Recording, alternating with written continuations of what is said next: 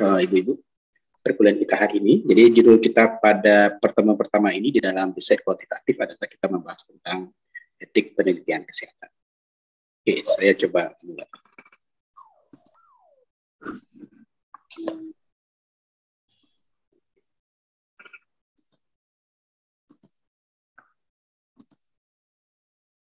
Ya, apa dasar uh, ya, secara universal etik kesehatan, etik penelitian kesehatan itu ada.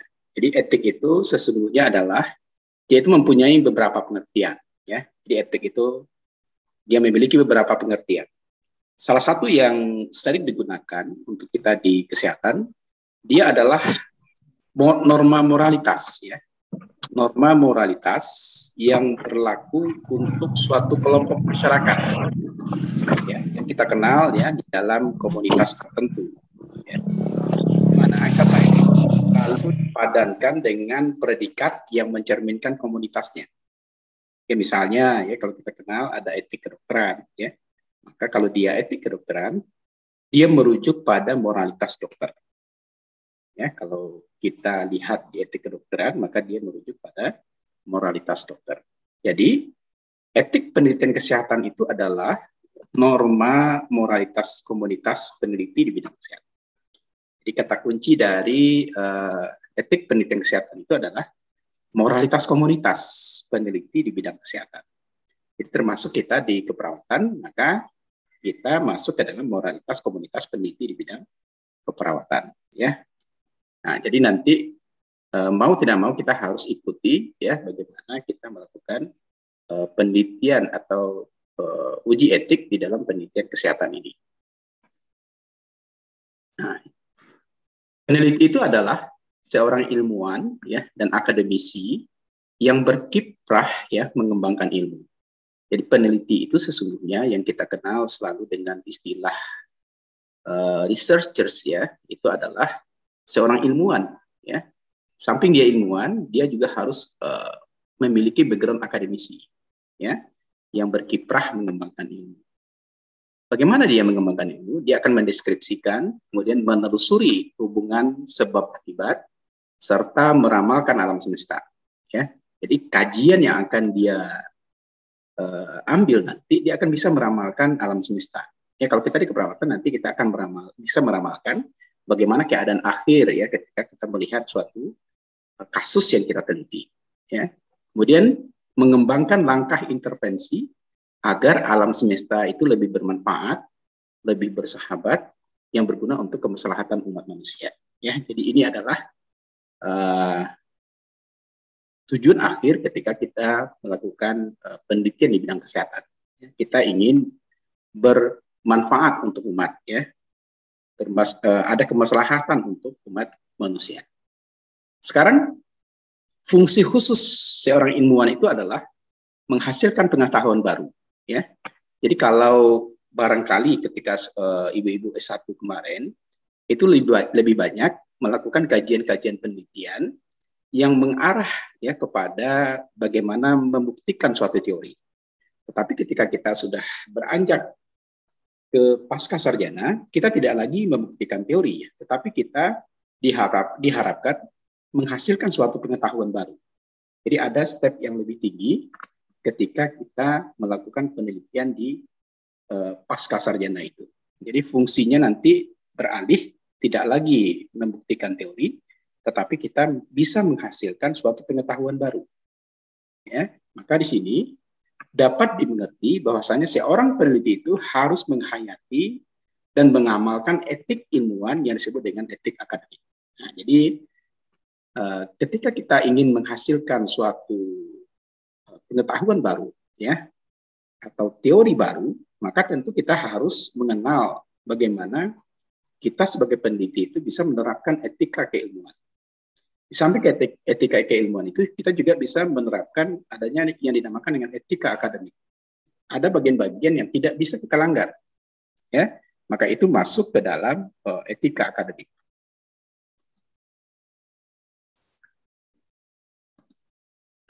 Kemudian dalam konteks ilmu secara filsafat, ya, maka kesehatan itu mencakup segala sesuatu tentang yang pertama yang mencakup ontologi. Ya, di dalam kajian filsafat itu selalu akan ada tiga hal, tiga aspek yang akan selalu kita uh, selalu kejar dan selalu kita bawa. Yang pertama adalah ontologi, ya, ontologi. Ontologi itu sebenarnya berbicara tentang apa, ya. Jadi pertama, ketika kita ingin mengetahui sesuatu itu, maka kita harus uh, melihat apa yang akan kita teliti, ya. Maka kajian filsafatnya itu masuk ke dalam ontologi, ya. Apa yang dikaji. Selanjutnya setelah kita mengetahui apa yang akan kita kaji, maka kita lanjutkan dengan epistemologi. Epistemologi itu mengkaji bagaimana cara kita mengkajinya. Cara apa yang kita gunakan untuk mengkajinya. Secara garis besar, riset itu terdiri dari dua hal. Yang pertama kita mengenal sebagai riset kuantitatif yang di dalam mata kuliah kita ini. Yang kedua, sebenarnya ada lagi riset kualitatif. Ya, jadi nanti akan kita bedakan nanti yang kuantitatif bagaimana, kemudian yang kualitatif bagaimana. Maka ketika kita mengkaji hal itu, kita masuk ke dalam ranah epistemologi namanya. Bagaimana cara mengkajinya? Apakah kita akan menggunakan data-data statistik? Ya? Kalau kita menggunakan data-data statistik, maka dia akan lari ke dalam riset kuantitatif. Akan tetapi, kalau kita hanya mengkaji bagian-bagian di luar data statistik, kemudian kita mengkaji lebih dalam ya bagaimana kasus itu terjadi, baik itu pada satu orang atau lebih uh, responden, maka dia masuk ke dalam riset kualitatif. Ya, maka cara mengkajinya tentu berbeda dengan riset kuantitatif. Setelah kita dapatkan cara mengkajinya, maka kita lanjutkan dengan aksiologi. Aksiologi itu adalah bagaimana pemanfaatan hasil kajian itu ya hasil yang sudah kita dapatkan itu kita terapkan di bagian apa? Misalnya nanti ibu melakukan suatu uh, penelitian kuantitatif berkenaan dengan mungkin experimental research misalnya, ya maka nanti dia diharapkan apa? Ya intervensi apa yang dilakukan kepada pasien atau responden?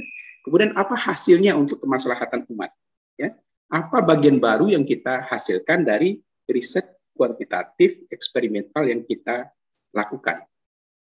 Apa yang berdampak kepada responden, apa yang berdampak kepada pasien misalnya.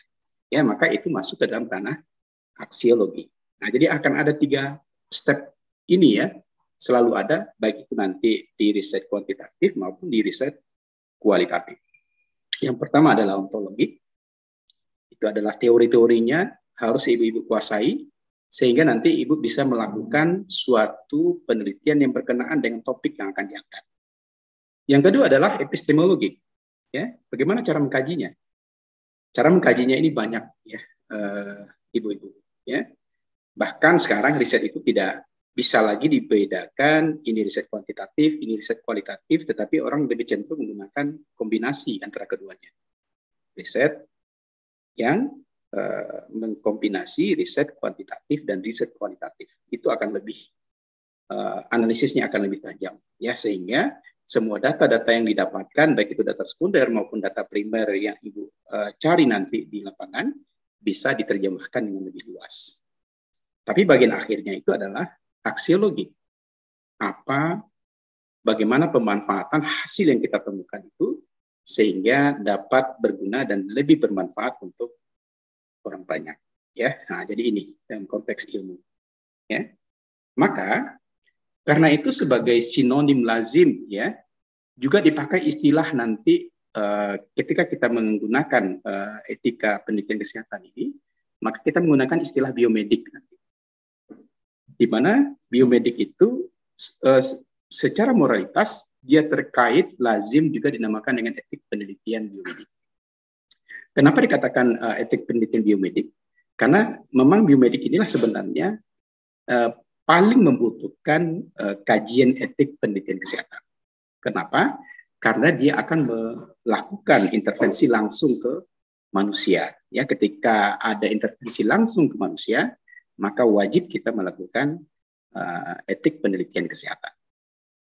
Maka saat ini ya muncul ya suatu pendekatan memformulasikan seluruh dimensi etik ya di bidang kesehatan uh, manusia atau ilmu biomedik itu sebagai etik biomedik atau bioetik.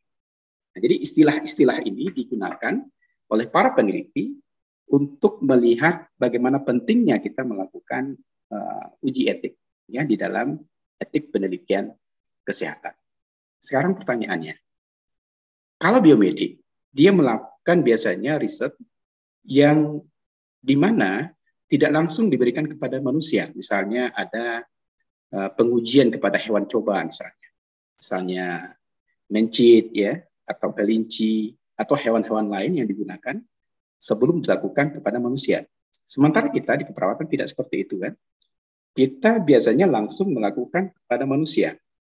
Menurut ibu-ibu, mana yang lebih wajib kita melakukan uh, pengurusan uji etik uh, keperawatan atau biomedik menurut Ibu? Mana yang lebih wajib? Bu Mega. Menurut Bu Mega mana yang lebih wajib? Kalau biomedik tadi saya katakan seluruh penelitiannya itu menggunakan hewan coba. Sekarang kita di keperawatan biasanya kita langsung melakukan intervensi kepada pasien Menurut Ibu mana yang lebih wajib melakukan uh, pengurusan uji etik kita sebagai perawat atau orang di biomedik? Lebih ke perawat sih Pak, kalau ah, menurut saya. Ya. Kalau Bu Nurse ini, mana yang lebih wajib?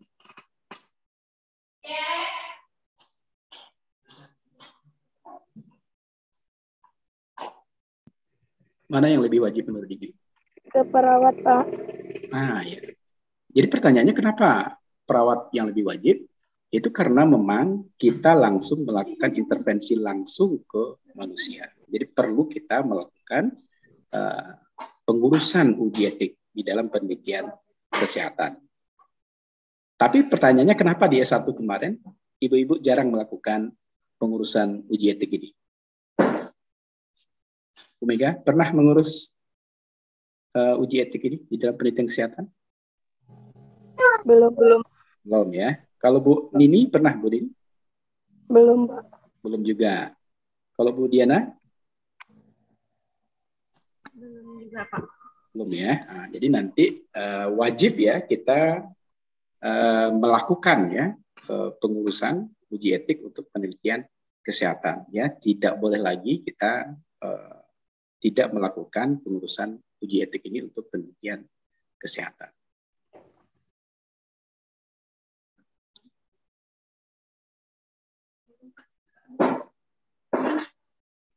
Sebentar ya, eh, ibu-ibu ini ada.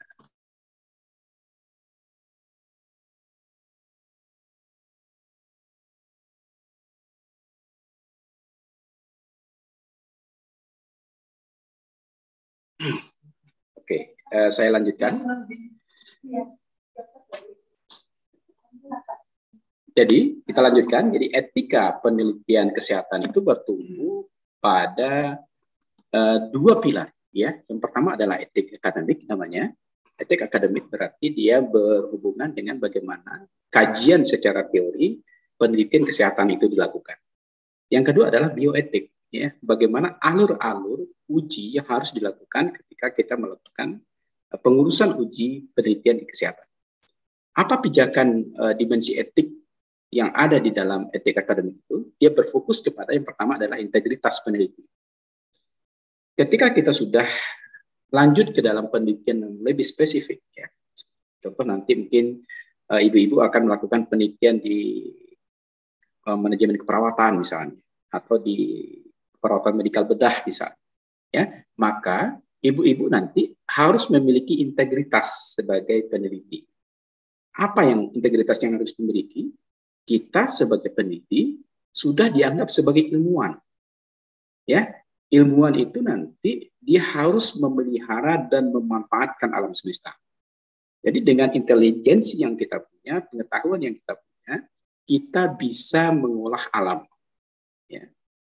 Nah, maka kalau di keperawatan olahnya seperti apa? Misalnya ibu mampu melakukan asuhan keperawatan A dengan sangat baik misalnya. Maka di dalam asuhan keperawatan itu nanti ibu-ibu akan melakukan suatu uh, perbaikan atas mungkin barangkali asuhan terbaik yang menurut ibu-ibu miliki. Maka itu akan masuk ke dalam integritas kita sebagai peneliti nanti. Ibu-ibu akan diharapkan nanti betul-betul paham dengan apa yang dilakukan. Kemudian ketika melakukan sudah menggunakan step-step yang benar. Ya, maka itu masuk ke dalam integritas kita sebagai peneliti.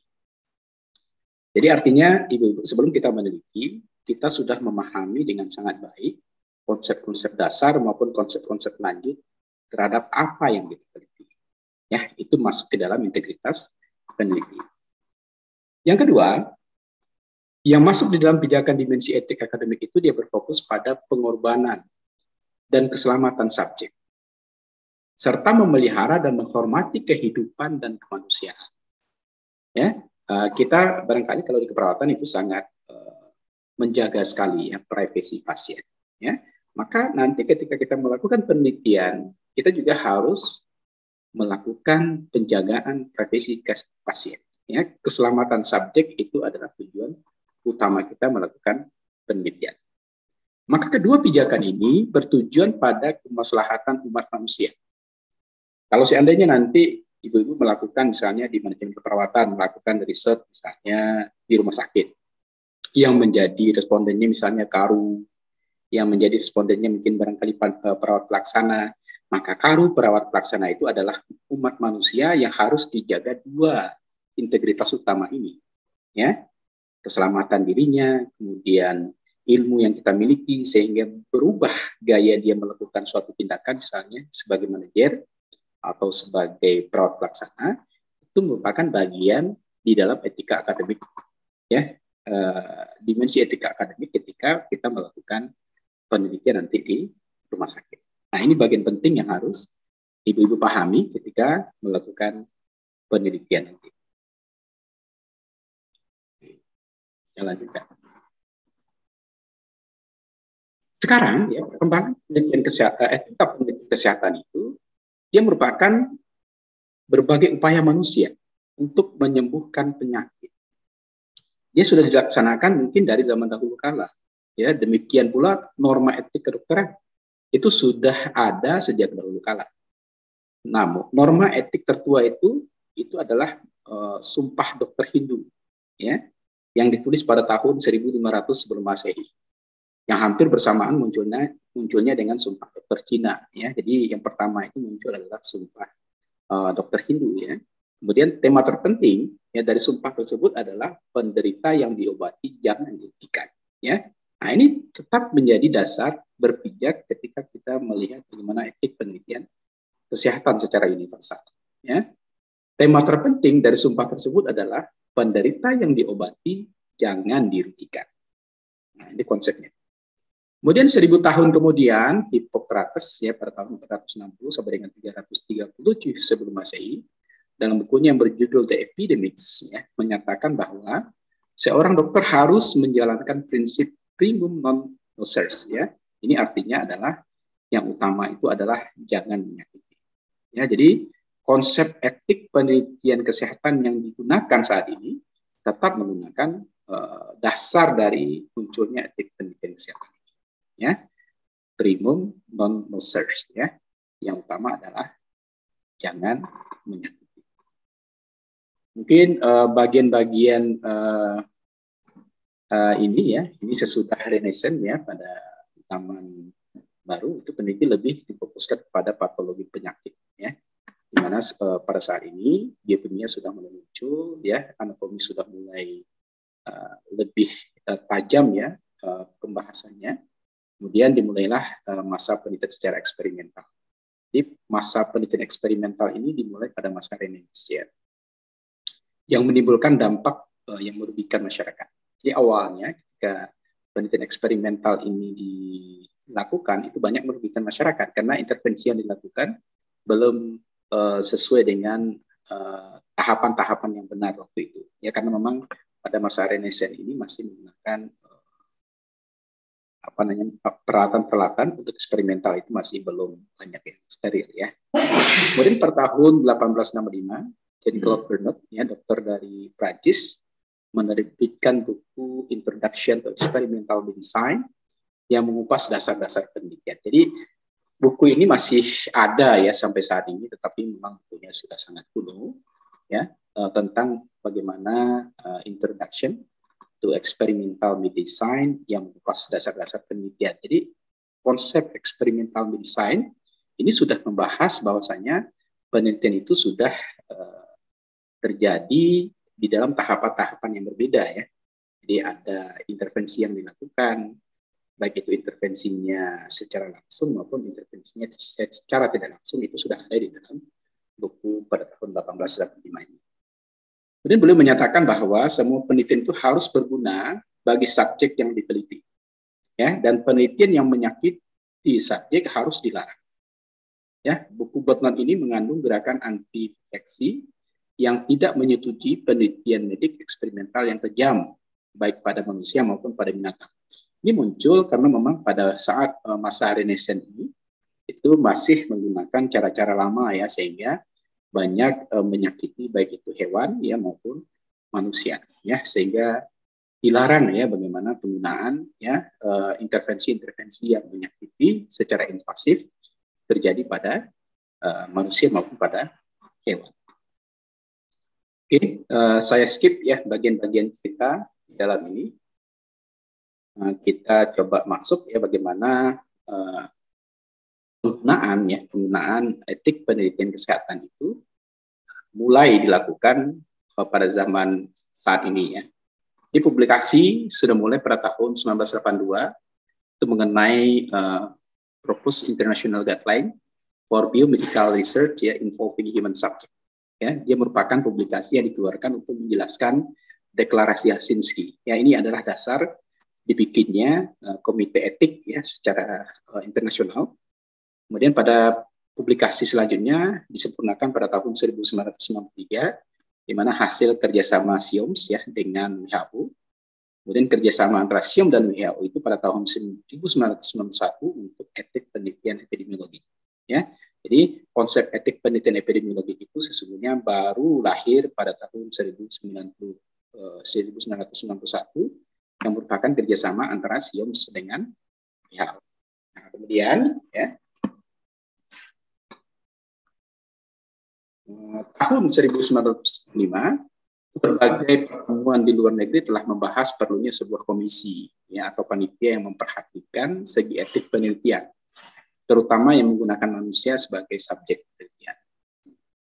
Nah, maka di Indonesia ya muncul ya eh, skala nasionalnya seperti yang saya sebutkan tadi kalau di institusi namanya adalah KIPK, tapi secara nasional namanya adalah KIPPKN. Ya, KIPPKN inilah sebenarnya uh, merupakan komite etik uh, penelitian yang secara nasional diakui oleh uh, Republik Indonesia ya, dan kita uh, KIPK Institut Kesehatan Prima Nusantara juga berada di bawah naungan KIPPKN ini. Ya. Kemudian hal lain yang sangat mendorong dibentuknya suatu komisi atau panitia etik penelitian itu ialah diperlakukannya suatu ethical clearance yang saya sering sebut ini.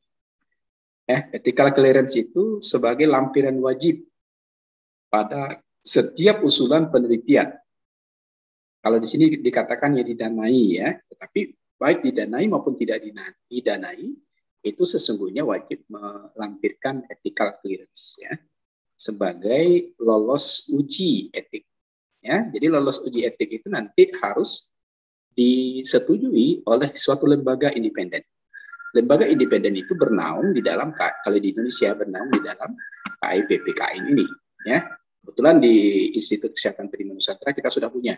Jadi ibu-ibu nanti kalau seandainya mau mau melakukan uji clearance ya, atau ethical clearance itu bisa mendaftarkannya di Institut Kesehatan Prima Nusantara. Dia akan terintegrasi nanti dengan uh, eh, KI PPKN yang ada di uh, secara nasional. Jadi berpusat di Kementerian Kesehatan Republik Indonesia. Ya.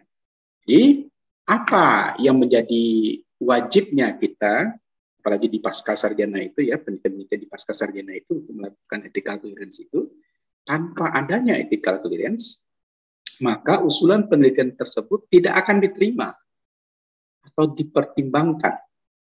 Ya, kalau ini kan karena didanai ya, tidak pun didanai nanti kita di pasca sarjana itu nanti wajib ya melakukan uh, ethical clearance ini ya. Karena apa? kalau seandainya nanti ada kasus ya ketika ibu-ibu melakukan penelitian atau bapak ibu melakukan penelitian, kalau seandainya ethical clearance ini ada, maka kita bisa uh, ethical clearance bisa dijadikan pegangan bahwasanya kita sudah melakukan segala sesuatu itu sesuai dengan standar yang ada. Ya, jadi banyak standar yang harus dipenuhi ketika kita uh, sudah melakukan ethical clearance ya. Jadi nanti lolosnya itu tidak lolos begitu saja ya. Ada tim nanti yang menilai apakah penelitian ini layak untuk dilanjutkan atau tidak.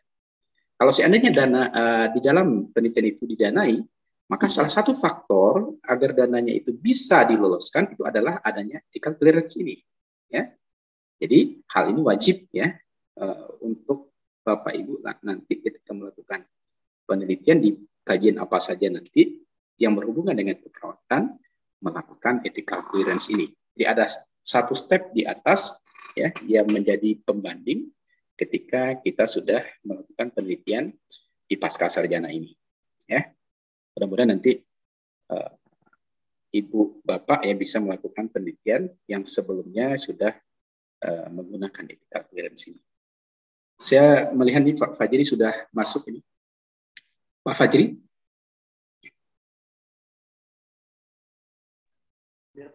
Ya, Pak Fajri uh, di S1 kemarin apakah sudah uh, memulai penelitian itu menggunakan ethical clearance kemarin atau bagaimana? Belum mengerti sih Pak baru masuk. Oh, enggak di S1 di S1 kemarin ya, itu uh, Pak Fajri melakukan penelitian apakah uh, harus lolos uji etik dulu atau tidak di S1 kemarin? Di S1. Saya bukan hanya yang sekarang. Pak Fajri kan melakukan penelitian ya di S1 kemarin. Ya. Nah, itu ada enggak uh, lolos uji etik dulu ketika melakukan penelitian? Kayaknya nggak ada sih Pak. Nggak. Nggak ada ya. Pak Fajri di S1-nya di mana kemarin? Di Perintis Pak. Oh, Perintis. Ya. Oke, jadi nanti uh, Pak Fajri ya, saya sudah sampaikan tadi mungkin Pak Fajri uh, lambat masuknya. Jadi nanti ketika di pasca sarjana kita melakukan lanjutan ya uh, riset ya sesuai dengan kompetensi apa nanti yang Bapak Ibu akan uh, lakukan, wajib untuk melakukan uji etik ini ya terlebih dahulu sebelum melanjutkan ke penelitian uh, lebih jauh ya mau di, di bagian apa pun nanti maka wajib kita melakukan ethical clearance ini. Ya. Sebenarnya di S1 di Prima uh, ada beberapa yang sudah uh, melakukan ethical clearance ini ya, terutama di semester sekarang ya. Tapi memang masih dominan uh, belum menggunakan. Jadi kita memang sudah mengarahkan untuk uh, seluruh peneliti melakukan ethical clearance ini karena memang wajib sebenarnya ya, apalagi di penelitian kesehatan. Oke, sekarang peran peneliti itu apa saja di dalam uh, penelitian kesehatan ini ya, etika penelitian kesehatan. Yang pertama adalah perannya itu sebagai etik dan moral ya, senantiasa berkaitan dengan kebebasan dan tanggung jawab. Ya. Di mana nanti uh, ketika seorang peneliti melakukan uji penelitian kesehatan ini, maka etik tadi membebani manusia dengan kewajiban moral. Jadi ada kewajiban moral yang berbeda dengan kewajiban dalam norma hukum. Ya, jadi etik penelitian kesehatan ini ya di samping hukum pasti ya, karena dia memang uh, mengikuti aturan-aturan ya sesuai dengan kaidah-kaidah di dalam etik penelitian kesehatan itu. Tetapi yang lebih membebaninya itu adalah uh, kewajiban moral, ya. Di mana kewajiban moral ini tidak mempunyai kekuatan mengikat ya untuk dipaksakan penerapannya. Di mana norma moral itu bersifat otonom sehingga nanti penegakannya tidak dapat dipaksakan melalui upaya pemaksaan eksternal. Uh, sebenarnya kita sebagai peneliti, ya mungkin barangkali di S1 selalu saya sampaikan, yang harus kita ambil ya itu adalah bagaimana keadaan real di lapangan. Tetapi kebanyakan ketika kita sudah berhadapan ya dengan misalnya kebijakan ya atau ber, berhadapan dengan pemegang kekuasaan itu kadang-kadang kita uh, banyak terjadi apa namanya kita harus mengikuti kemauan pemegang kekuasaan. Atau barangkali uh, ibu-ibu ini ya yang sudah bekerja misalnya di instansi uh, pemegang program misalnya. Kadang-kadang ya, kadang-kadang ya uh, secara terbuka mungkin barangkali saya ingin sampaikan segala sesuatu yang tidak baik kalau kita sampaikan itu kadang-kadang kan merusak ya uh, kebijakan yang ada di tempat kita bekerja. Nah, maka ini menjadi bagian yang harus menjadi uh, catatan kita sebagai peneliti di dalam kewajiban moral ya. Sebenarnya kita harus menyampaikan sebagaimana adanya itu konsep riset itu. Bukan sebagaimana seharusnya. Ya saya sering menyampaikan ini. Ketika kita menemukan suatu uh, kenyataan di lapangan misalnya segala sesuatu itu berbeda dari data yang ada kemudian berbeda dari teori yang ada harusnya kan kita sampaikan kadang-kadang karena kita pemegang program kadang-kadang kita juga terikat dengan uh, kekuasaan, kita tidak menyampaikan. Maka di sana kewajiban moral tidak sesuai dengan uh, yang diharapkan. Ya, maka inilah pentingnya ethical clearance itu. Yang menjadi penanggung jawab tidak kita saja sebagai peneliti, tetapi ada orang di Komite Etik Penelitian Kesehatan yang juga melihat kalau seandainya ini terjadi bagaimana. Kalau seandainya nanti disalahkan, yang disalahkan tidak hanya peneliti. Ada peran komite etik penelitian kesehatan di sana. Sehingga kalau seandainya bermasalah, tidak hanya kita yang terbawa, tetapi komite etik penelitian kesehatan juga mempunyai kewajiban untuk menyelesaikan permasalahan itu. Nah, itulah pentingnya sebenarnya penelitian apa etika penelitian kesehatan itu diurus ethical clearance-nya. Ya. Jadi yang melihat kejanggalan itu tidak hanya kita sebagai peneliti saja, tapi ada orang lain ya di dalam komite etik penelitian kesehatan. Artinya apa? Yang tahu tentang data penelitian kita tidak hanya kita saja sebagai peneliti, tetapi ada lembaga lain yang independen ya yang bisa melihat apakah pelaksanaan kegiatan penelitian kita itu sesuai dengan keadaan sebenarnya atau tidak. Karena semua laporan, semua report yang kita hasilkan di dalam penelitian kita wajib kita sampaikan kepada KEPK ya, Komite Etik Penelitian Kesehatan tempat kita uh, memasukkan usulan ethical clearance. Seperti itu. Oke, ya, jadi itu pentingnya sebenarnya. Kemudian kebebasan dapat juga dibagi menjadi dua macam. Yang pertama adalah kebebasan yang diterima dari orang lain yang disebut dengan kebebasan sosial. Yang kedua adalah kebebasan dalam arti kemampuan manusia untuk menentukan tindakannya sendiri, yang disebut dengan kebebasan eksistensial. Jadi kebebasan ini itu juga diberikan kepada peneliti.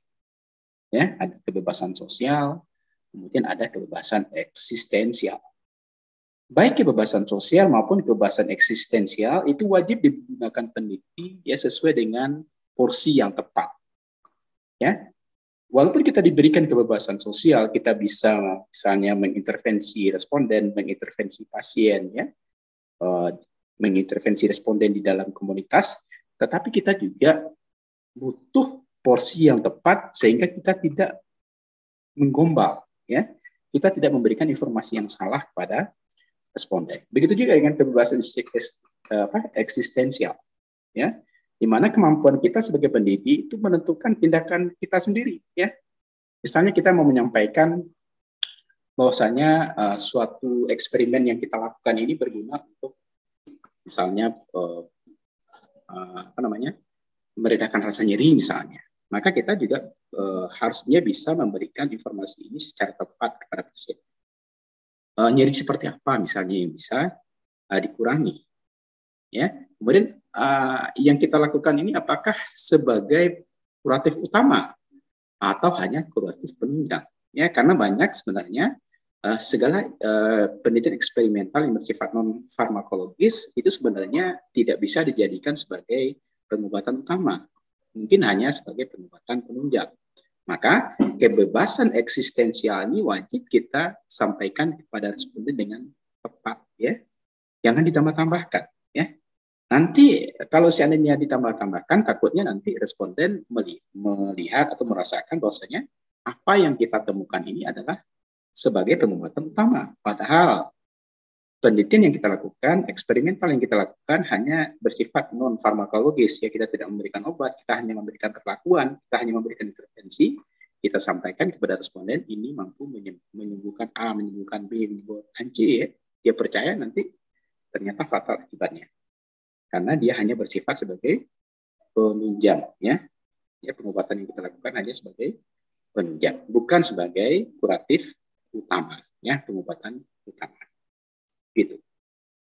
Kemudian di dalam etik moral ini juga kebebasan sosial selalu dibatasi oleh orang lain.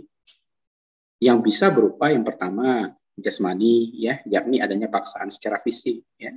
Kemudian rohani atau psikis yaitu tekanan batin yang diberikan oleh orang lain serta perintah dan larangan ya antara lain berwujud undang-undang ya perintah orang tua atasan guru ya kebebasan uh, eksistensial yang berakar dari kebebasan rohani manusia itu sendiri yaitu dalam penguasaan dalam batinnya, pikirannya dan kehendaknya.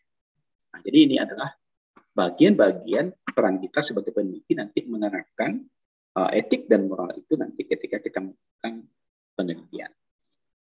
Kemudian selanjutnya, untuk itu peneliti kesehatan harus mampu melakukan pertimbangan etik secara mandiri ya dia melaku, harus melakukan identifikasi isu etik yang mungkin muncul ya melakukan pertimbangan berdasarkan acuan yang tersedia serta mengambil keputusan etik.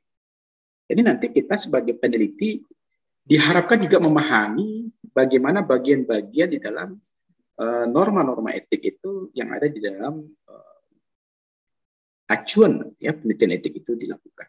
Ya. Kemudian keputusan etik itu dihormati sendiri oleh peneliti sehingga jika dianggap tidak layak etik, membatalkan penelitiannya atau memodifikasinya agar menjadi layak etik. Ini nanti keputusan etik itu ada dua. Ya, setelah misalnya dibahas uh, oleh komite etik, ya, oleh uh, lembaga independen yang saya sampaikan tadi nanti, ada dua nanti uh, keputusannya. Ada yang dinamakan dengan layak etik, berarti akan keluar nanti surat keputusan etik. Ada lagi yang tidak layak etik. Kalau seandainya tidak layak itu bisa ya dilanjutkan ya misalnya uh, di bagian mana yang tidak layaknya. Kemudian kita modifikasi, kemudian kita ajukan kembali. Ya, kalau seandainya diajukan kembali kemudian dikatakan tidak layak lagi, ajukan kembali ya di bagian mana yang tidak layak itu. Ya, jadi akan ada nanti informasi kepada peneliti bagian-bagian mana yang tidak layak untuk dilakukan uh, penelitian. Ya, terutama tentu penelitian yang berhubungan dengan uh, manusia tadi. Ya, nah, maka keputusan ini nanti menjadi dasar untuk melakukan penelitian yang berhubungan dengan manusia. Selanjutnya, pertimbangan etik itu tidak selalu mulus ya. Kadang-kadang penelitian itu peneliti itu berhadapan dengan dilema etik ya. Dalam arti kata, tindakan yang akan dilakukan itu sejalan dengan rujukan etik yang satu ya, tetapi bertentangan dengan rujukan etik yang lainnya. Kemudian dalam mengambil keputusan, ya peneliti paksa melakukan pilihan. Pilihan itu selalu bersifat subjektif. Ya, dia didasari kemampuan manusia, termasuk penelitian kesehatan terbatas. Ya, lebih dari itu, dalam bersikap dan bertindak dapat dipengaruhi oleh pertimbangan teknis dan operasional. Kemudian terbawa arus untuk bersikap pragmatis sehingga mengabaikan prinsip. Untuk itu sebenarnya prinsip agar tiap penelitian kesehatan itu harus layak etik untuk dilaksanakan harus diberdayakan dan dipastikan pemberlakuannya. Jadi ingat uh, Bapak Ibu, ya, tidak semua nanti penelitian kita itu lolos uji etik. Ya, maka pandai-pandai nanti kita melihat kajian apa yang bisa uh, untuk lolos uji etik. Tapi perlu diyakini ya kalau seandainya tidak melakukan intervensi, intervensi langsung ke manusia ya Misalnya nanti uh, intervensi yang dilakukan hanya mengembangkan pengetahuan, ya, uh, memperlancar proses uh, dalam manajerial, itu biasanya aman di, uh, untuk lolos uji etiknya. Tetapi misalnya nanti ibu membuat ya suatu kajian baru di dalam keperawatan medikal bedah, ya misalnya mem meramu suatu obat ya kemudian obat ini mau diberikan kepada manusia ah, itu memang agak susah untuk lolos uji etik ya kenapa karena harus ada step-step sebelum uh, surat keputusan lolos uji etik itu untuk keluar. Misalnya nanti ada pengujian dulu ke hewan percobaan, ya seperti itu. Tidak boleh langsung ke manusia. Nah, kalau yang seperti yang pertama tadi itu biasanya aman untuk bisa cepat lolos uji etik. Ya, karena kita hanya mengintervensi bagaimana pengetahuan misalnya manajerial di uh, manajerial keperawatan misalnya ya, kabit-kabit keperawatan ya, perawat pelaksana, karu dan sebagainya itu aman ya untuk lolos uji etik.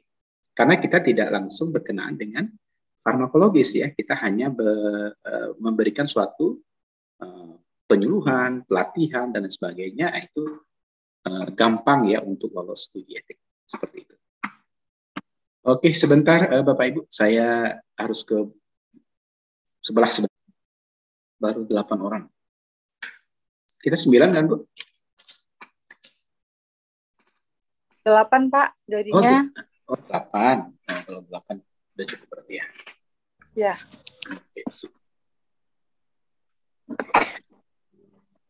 Doa lancar, Pak. Amin, amin. Bu, sebenarnya gini ya, uh, ini kan saya cuma uh, eh, berbicara, tetapi memang wajib untuk disampaikan ini, ya, karena uh, kebanyakan, kebanyakan, kenapa ini menjadi uh, kajian pertama kita di dalam riset kuantitatif. Sebenarnya ada riset kuantitatif itu, Bu. mau tidak mau ibu harus melakukan yang dinamakan ethical clearance ini terlebih dahulu, ya. Tetapi uh, di S1 kenapa kita skip? Kenapa kita skip? Karena memang S1 itu uh, tujuan akhirnya itu kita baru berlatih untuk melakukan penelitian. Jadi ketika, ketika kita berlatih melakukan penelitian, kemudian dihadapkan kepada bagian ini, ini bagian ini repot ini bu. Ya kalau uh, kalau peneliti bilang bagian rempong lah istilahnya. Ya karena banyak aturan-aturan kalau nggak salah saya lebih dari 35 aturan yang harus ibu lalui nanti. Dari 35 aturan itu nanti harus uh, ibu harus lolos 35 bagian. Uh, apa saja di antaranya? Bagian yang pertama itu di antaranya proposal. Proposal itu komplit ibu. Jadi dalam etika penelitian itu nanti yang menjadi subjeknya tidak hanya ibu sebagai peneliti, tapi pembimbing dan penguji juga akan ada nanti. Ya, jadi uh, Artinya apa? Ibu peneliti sudah pasti itu. Kemudian pembimbing, pembimbingnya harus qualified. Jadi nanti track record pembimbingnya juga akan ditanyakan nanti. Apa di antaranya? Pembimbingnya sudah pernah meneliti apa saja nanti. Misalnya ibu nanti uh, melakukan penelitian tentang uh, manajemen keperawatan misalnya di rumah sakit A misalnya. Nanti akan dilihat record uh, rekam jejak pembimbingnya apa. Dia pernah melakukan penelitian apa saja terindeks apa? Ya, terindeks itu banyak Ibu. Ada yang terindeks Scopus namanya, ada yang terindeks misalnya uh, jurnal nasional terakreditasi Sinta misalnya. Sinta itu ada Sinta 1, Sinta 2, Sinta 3, Sinta 4, Sinta 5. Itu nanti akan dilihat oleh uh, bagian komite etik. Ya, sudah pernah meneliti apa saja. Kemudian terindeks apa saja.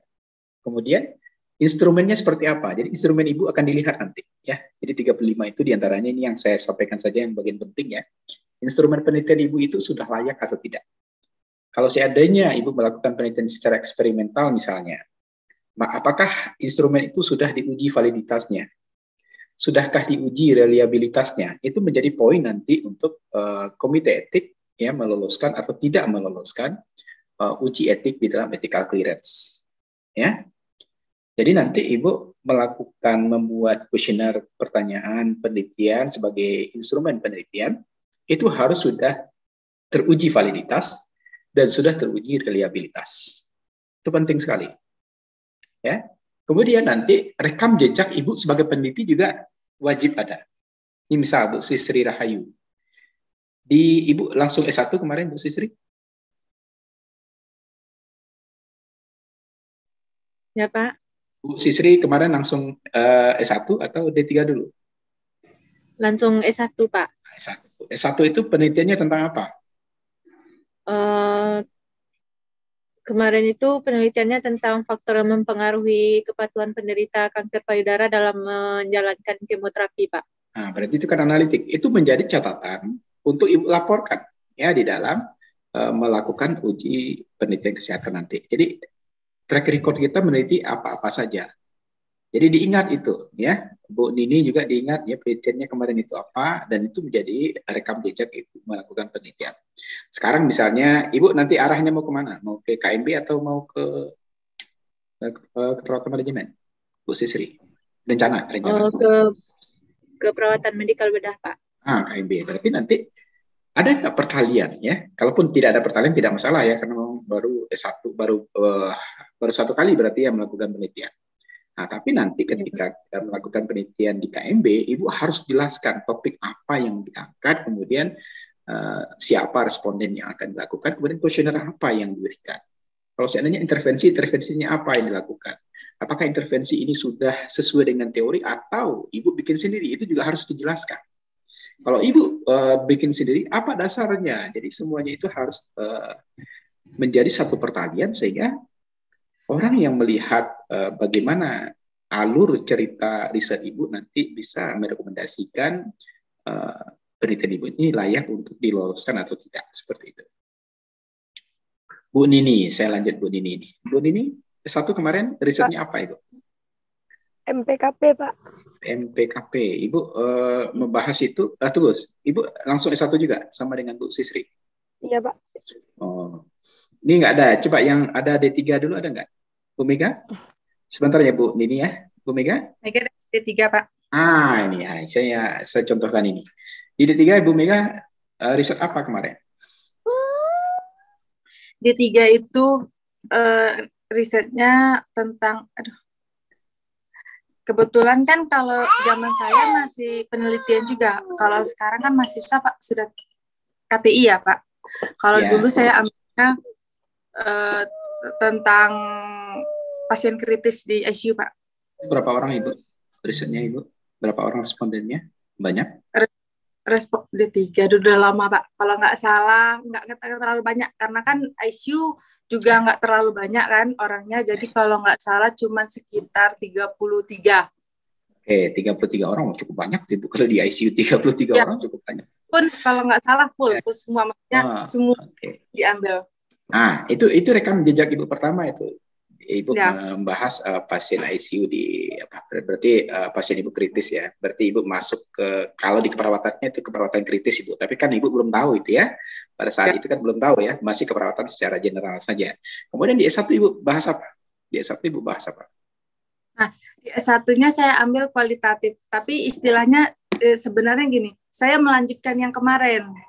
Jadi ah. istilahnya yang kemarin sudah saya teliti kualitatif, saya lanjutkan ke kualitatif. Jadi kuanti, oh, habis itu kuali. Karena penasaran aja sih apa sih beda antara kuanti sama kualinya, Pak. Oh, berarti datanya Ibu dapatkan di D3, kemudian Ibu ya. kata-katai di ya. S1 seperti itu. Ya, lebih ke spesifik, oh. lebih ke wawancara dan segala macamnya lah istilahnya. Artinya pasiennya berbeda kan, Bu? Atau pasiennya itu juga? Ya, berbeda pasiennya, Pak. Cuman istilahnya okay. kan waktu itu ada tingkat kecemasan hospitalisasi kan. Jadi istilahnya tetap dengan tema yang sama. ya. Istilahnya dengan pasien yang berbeda tetap. Oke, sip sip. Berarti Ibu sudah ini ya. Ah, jadi pengalaman itu Ibu. Nanti Ibu uh, sampaikan ketika Ibu melakukan uh, apa namanya? Uh, mau mengajukan etika clearance ya. Berarti Ibu sudah mempunyai pengalaman uh, di dalam riset kuanti dan juga mempunyai pengalaman di riset kuali. Tapi kan kita nggak tahu nih riset kuali ibu itu riset kuali ibu itu apakah benar atau tidak ya karena memang riset kuali itu uh, sebenarnya satu bagian di dalam riset yang cukup rumit ya, Bu ya? Ya, Kenapa saya rumit? dulu ditantang gitu, Pak. Karena kan dulu hmm. istilahnya katanya kuali itu nggak pernah tepat waktu mahasiswanya. Jadi istilahnya ya. ada, ada ini tersendiri gitu, Pak. Ada apa namanya? Ada ini tersendiri mau nyoba. Ya. Kenapa uh, Kenapa tidak tepat waktu Ibu? Karena masalah Ibu itu akan memanjang terus ya. Ketika Ibu dapat A nanti bisa bisa saja akan dibatalkan oleh suatu teorema atau teori ya atau suatu konsep baru yang sehingga batal ya apa yang Ibu dapatkan sehingga nanti bisa saja nanti Ibu harus dapatkan data baru lagi seperti itu. Ya data barunya maksudnya Ibu melakukan observasi kembali ya, atau apa ya. Karena kuali itu memang uh, rumitnya itu di sana Ibu ya tidak uh, bisa seperti kuanti kuanti kan jelas ya responden sekian itu bisa asalkan sudah memenuhi kriteria minimal dari sampel seperti itu. Tapi di kuali tidak bisa seperti itu. Bisa saja di kuali itu hanya lima orang, tetapi sudah memenuhi. Atau bisa saja seribu orang, tetapi tidak memenuhi. Jadi memang uh, permasalahan di kuali itu memang agak sedikit rumit ya, agak sedikit. Uh, ya tidak sesuai lah dengan kajian-kajian statistiknya seperti itu. Oke, dan jadi nanti itu ibu jadikan sebagai record ya, rekaman untuk ibu uh, mengusulkan suatu ethical clearance ya. Seperti itu Bu Mega. Jadi ada ada contoh. Kalau Bu Gustira, terima kasih ya Bu Mega ya. Ya Pak. Kalau Bu Gustira? Ya Pak. Uh, di pernah pengalaman apa saja di risetnya? Langsung S1 kemarin ya Bu Gustira ya? Saya D3, Pak, dari D3. Nah, oke, D3-nya ya. bahas apa Ibu kemarin? Uh, D3-nya kami KTI, Pak. Uh, itu judulnya asuhan keperatan uh, pada Nyonya L dengan diagnosa low back pain. Oke, tapi sayangnya ketika itu Ibu tidak boleh mengajukan ke ini ya sebagai catatan riset ya, ya karena asuhan keperawatan hmm. seperti itu itu masih masuk ke dalam laporan kasus ya. Sebagian buku mengatakan itu tidak masuk ke dalam uh, riset ya, tetapi memang kajian-kajian seperti itu itu lebih ke laporan kasus ya sepertinya. Uh, jadi jangan ibu masukkan nanti ke dalam uh, apa namanya bagian pengalaman ibu melakukan penelitian. Kalau S1 apa ibu? Bu Gustina? Kalau S1-nya uh, risetnya faktor-faktor yang mempengaruhi kecemasan orang tua pada hospitalisasi anak. Itu udah pakai apa ya kuesioner baku ya bu ya? Pakai HARS ya? Iya pakai iya pakai HARS untuk kecemasannya. Ya. Nah, berarti seperti itu itu bisa Ibu indikan, Ibu masukkan. Rencananya nanti Ibu sudah ada pola untuk melakukan riset di pasca ini? Mau ke arah mana Ibu? Uh, kalau rencananya Pak, ini ke manajemen keperawatan. Oke, jadi bisa khas kecemasan itu nanti Ibu larikan misalnya ke uh, pelaksana uh, perawat pelaksana misalnya nanti ya. Kalau mau melanjutkan uh, masih di kecemasan, tapi kayaknya lebih baik Ibu nanti uh, merubah suatu apa ya kebijakan ya itu akan lebih baik karena akan lebih berdampak kepada uh, pelaksana uh, petu, uh, perawat pelaksana yang ada di rumah sakit. Ya nanti mungkin barangkali hmm. tetapi catatan di S1 Ibu itu bisa Ibu jadikan rekam jejak Ibu pernah melakukan penelitian uh, di bidang uh, ansietas ya kecemasan. Oke, seperti itu ya. Uh, saya coba ya. yang lain ini biar apa ya, ya karena ini teori semua nih yang saya sampaikan. Pak Fajri. Pak Fajri Kurniawan ya. Di perintis kemarin uh, ngebahas apa uh, Pak Fajri? Tentang ASI eksklusif sih Pak, nggak salah. Oh, jangan nggak salah Pak Fajri kan Pak Fajri yang riset kemarin. ini bahaya ini kalau kalau nggak salah ya. Ya tentang apanya Pak Fajri bahas? Pak Fajri langsung S1 ini kan? Kalau ya, lihat Pak. wajahnya S1 langsung juga ya. Masih kecil-kecil lah gitu ya. Iya Pak, masih nah, muda Pak muda ya. Jadi Pak Fajri kemarin ngebahas ASI eksklusif di apanya? Faktor-faktorkah atau hubungan ya, atau apa? Apa? Ya, aduh, aduh, ini bahaya nih Pak Fajri udah lupa baru kemarin. Ya, lupa. ini bahaya ini ya. Nggak boleh kita lupa ya, riset kita itu nggak boleh kita lupa. Apa Pak Fajri?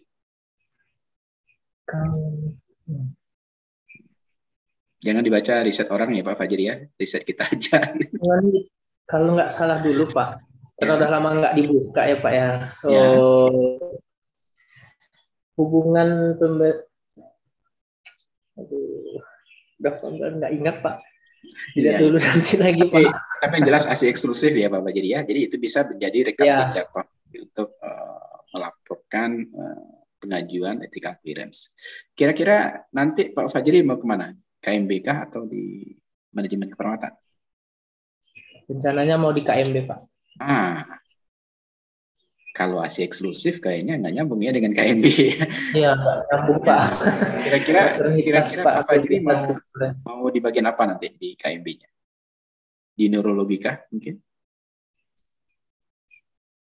kayaknya di bagian bedahnya Pak ada nggak beda beda bisa bisa ya berarti beda uh, mungkin barangkali nanti uh, penata laksanaan bedah apa ya nanti uh, Pak Fajri spesifikasikan nanti Pak Fajri lakukan mungkin barangkali intervensi atau uh, melihat mungkin bagaimana cara kerja perawat ya di sana untuk melakukan uh, tindakan A, tindakan B di dalam perawatan medikal bedah seperti itu.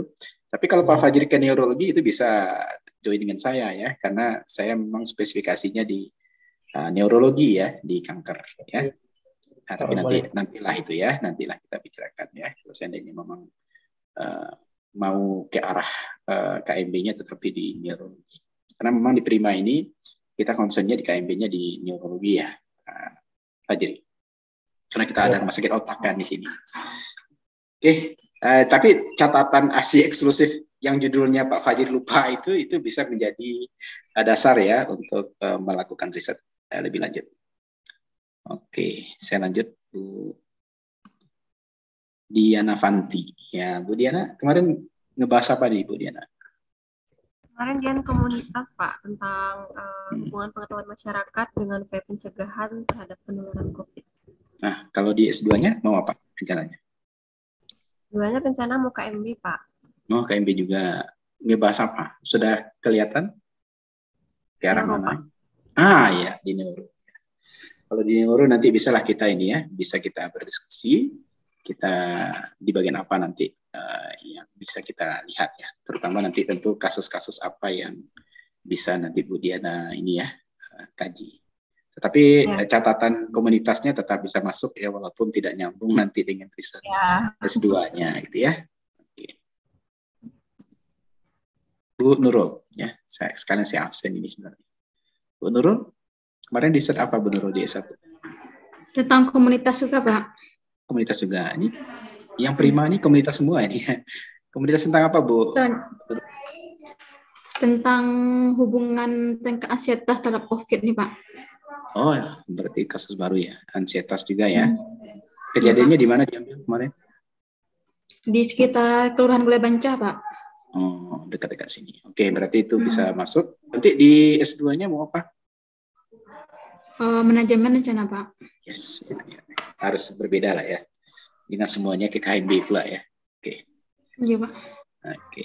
Nanti uh, catatan S1-nya bisa menjadi daftar ya, pernah melakukan riset apa. Yang belum saya tanya kembali Bu Nini nih, Bu Nini. Ayo Bu Nini, S1-nya apa kemarin judulnya?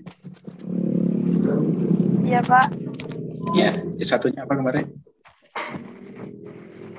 Itu Pak, manajemen. Ya, eh sudah manajemen. Mas apa kemarin S1 Ibu? Itu Pak, gambaran kinerja kepala ruangan dan ketua tim Pak. Mantap. Oh, ini udah ada Di dasar. ruang MPKP. Berarti nanti S2-nya udah pasti manajemen ini ya? Iya. Iya ya? Iya, Pak. Nah, berarti nanti Bun ini sudah linear ya. Jadi enak ini nanti. Jadi catatan uh, Bun ini pernah melakukan penelitian di manajemen perawatan sudah menjadi dasar orang untuk uh, meloloskan ya uh, ethical clearance-nya. Ini benar bagus ini Bu Nini. Bu Nini dinas di mana Bu Nini? Kebetulan sekarang saya nggak dinas Pak. Di mana sekarang di rumah aja? Di rumah aja Pak. Oh iya iya kelihatan ngasuh anak ya. Nanti sudah bisa itu Bu Nini. Mudah-mudahan sudah ketemu juga ya dengan judul di manajemen perawatan. Ya, yang sekarang itu sebenarnya yang lebih apa ya uh, di ke di manajemen keperawatan itu sekarang orang uh, mengembangkan metode baru uh, untuk melakukan uh, para manajerial keperawatan itu melakukan uh, keputusan ya pengambilan keputusan. Jadi pengambilan keputusan sekarang kan orang sudah menggunakan digitalisasi. Jadi mungkin ya. barangkali untuk manajemen keperawatan uh, ini juga bisa sebagai apa ya acuan ya bagaimana nanti keputusan itu tidak diambil secara manual sekarang ya. Sudah diarahkan ke digitalisasi. Jadi semua tindakan itu yang biasanya kan manual sekarang tindakan itu setelah dicatat secara manual nanti diinput ke digital. Jadi nanti uh, seorang manajer di keperawatan itu nanti bisa mengambil keputusan apa itu menggunakan suatu pemrograman juga ya. Nanti uh, lahirlah suatu keputusan A keputusan baru uh, bagi seorang uh, manajerial di perawatan itu bisa nanti ya mungkin kalau uh, bapak ibu uh, butuh program-program yang apa namanya memperbaiki bagaimana kinerja perawat atau uh, keputusan perawat, keputusan manajerial perawat, baik itu di tingkat uh, kabit ya maupun di tingkat uh, apa namanya karu dan lain sebagainya itu bisa uh, diaplikasikan ya. Jadi data awal yang ditulis manual perawat pelaksana itu itu diinput semuanya ke digital ya kemudian nanti uh, program yang uh, nanti akan memutuskan uh, apa apa namanya uh, pembaharuan ya uh, keputusan terhadap perawat A, perawat B, perawat C dan seterusnya. Nah, itu bisa menjadi suatu uh, apa namanya temuan ya. Nah, itu yang dinamakan di dalam suatu penelitian itu uh, Bapak Ibu selain adanya uh, temuan baru, kita juga diperkenankan untuk uh, melahirkan suatu novelty. Ya, novelty itu adalah kebaruan. Jadi kebaruannya apa? Kalau seperti tadi ya uh, keperawatan manajemen misalnya menggunakan uh, bantuan pemrograman untuk pengambilan keputusan itu novelty-nya adalah adanya pemrograman ibu ya pemrograman sehingga lahir keputusan baru. Jadi semuanya itu tidak, tidak manual ya tetapi menggunakan pemrograman komputer itu dirancang oleh kita sebagai peneliti seperti itu. Ingat ya, ya peneliti itu nanti ketika di pasca tidak hanya ibu sendiri ya, tidak tunggal. Pembimbing itu sebenarnya ketika sudah uh, menjalankan suatu misalnya survei ya atau penyebaran angket itu pembimbing sudah bisa berkolaborasi dengan uh, mahasiswa bimbingannya ya maka pembimbing itu sebenarnya juga autor ya makanya nanti ketika publikasi autor itu ada autor ada koautor ya ada anggota satu anggota dua anggota tiga ya pembimbing, penguji itu juga sudah bisa masuk ke dalam uh, penulis juga ya atau author seperti itu. Jadi ingat ya Bu ya, nanti ketika riset Ibu tidak hanya menemukan teori baru karena pasca itu tidak boleh lagi membuktikan teori, harus ada teori baru. Yang kedua juga harus ada novelty. Novelty itu adalah kebaruan. Novelty atau kebaruan itu baru hadir ada apabila kita lakukan inovasi terhadap penelitian. Nah, inovasi apa? Di antaranya tadi yang saya sampaikan. Ibu menggunakan pemrograman untuk pengambilan keputusan manajerial di keperawatan. Kalau seandainya mau ke keperawatan manajemen. Kalau di KMB juga seperti itu, Ibu harus temukan novelty barunya apa.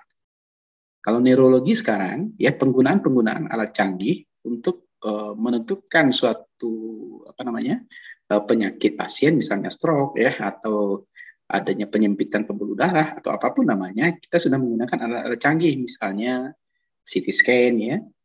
Nah, CT scan itu adalah novelty. MRI misalnya, MRI itu adalah novelty. Jadi tidak hanya uh, menggunakan uh, pengecekan laboratorium saja, tetapi kita menggunakan alat-alat canggih ya. Bahkan kalau di rumah sakit besar di Jawa, kita sudah menggunakan PET namanya. PET itu adalah proton emission tomography.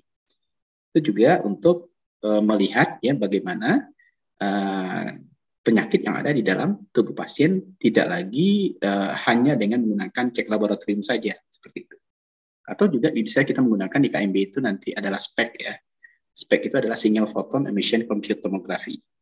Dan juga bisa bisa kita menggunakan linear accelerator ya kalau seandainya kita menghancurkan misalnya kanker ya menggunakan radioaktif misalnya atau linak ya linear accelerator maka novelty yang bisa kita dapatkan ketika di KMB seperti itu ya yang berhubungan dengan neurologi adalah kita menggunakan alat-alat yang canggih seperti itu ya menggunakan teknologi tinggi atau laser mungkin ya. Ya kalau di kajian saya itu saya di radioterapi. Ya radioterapi itu adalah menghancurkan kanker menggunakan zat radioaktif semua alat yang kita gunakan itu adalah alat teknologi canggih ya seperti itu maka temuan uh, baik uh, temuan maupun novelty atau kebaruan kita hasilkan dari alat-alat yang kita gunakan tersebut. Seperti itu. Siapa yang belum saya tanya? Bapak Ibu?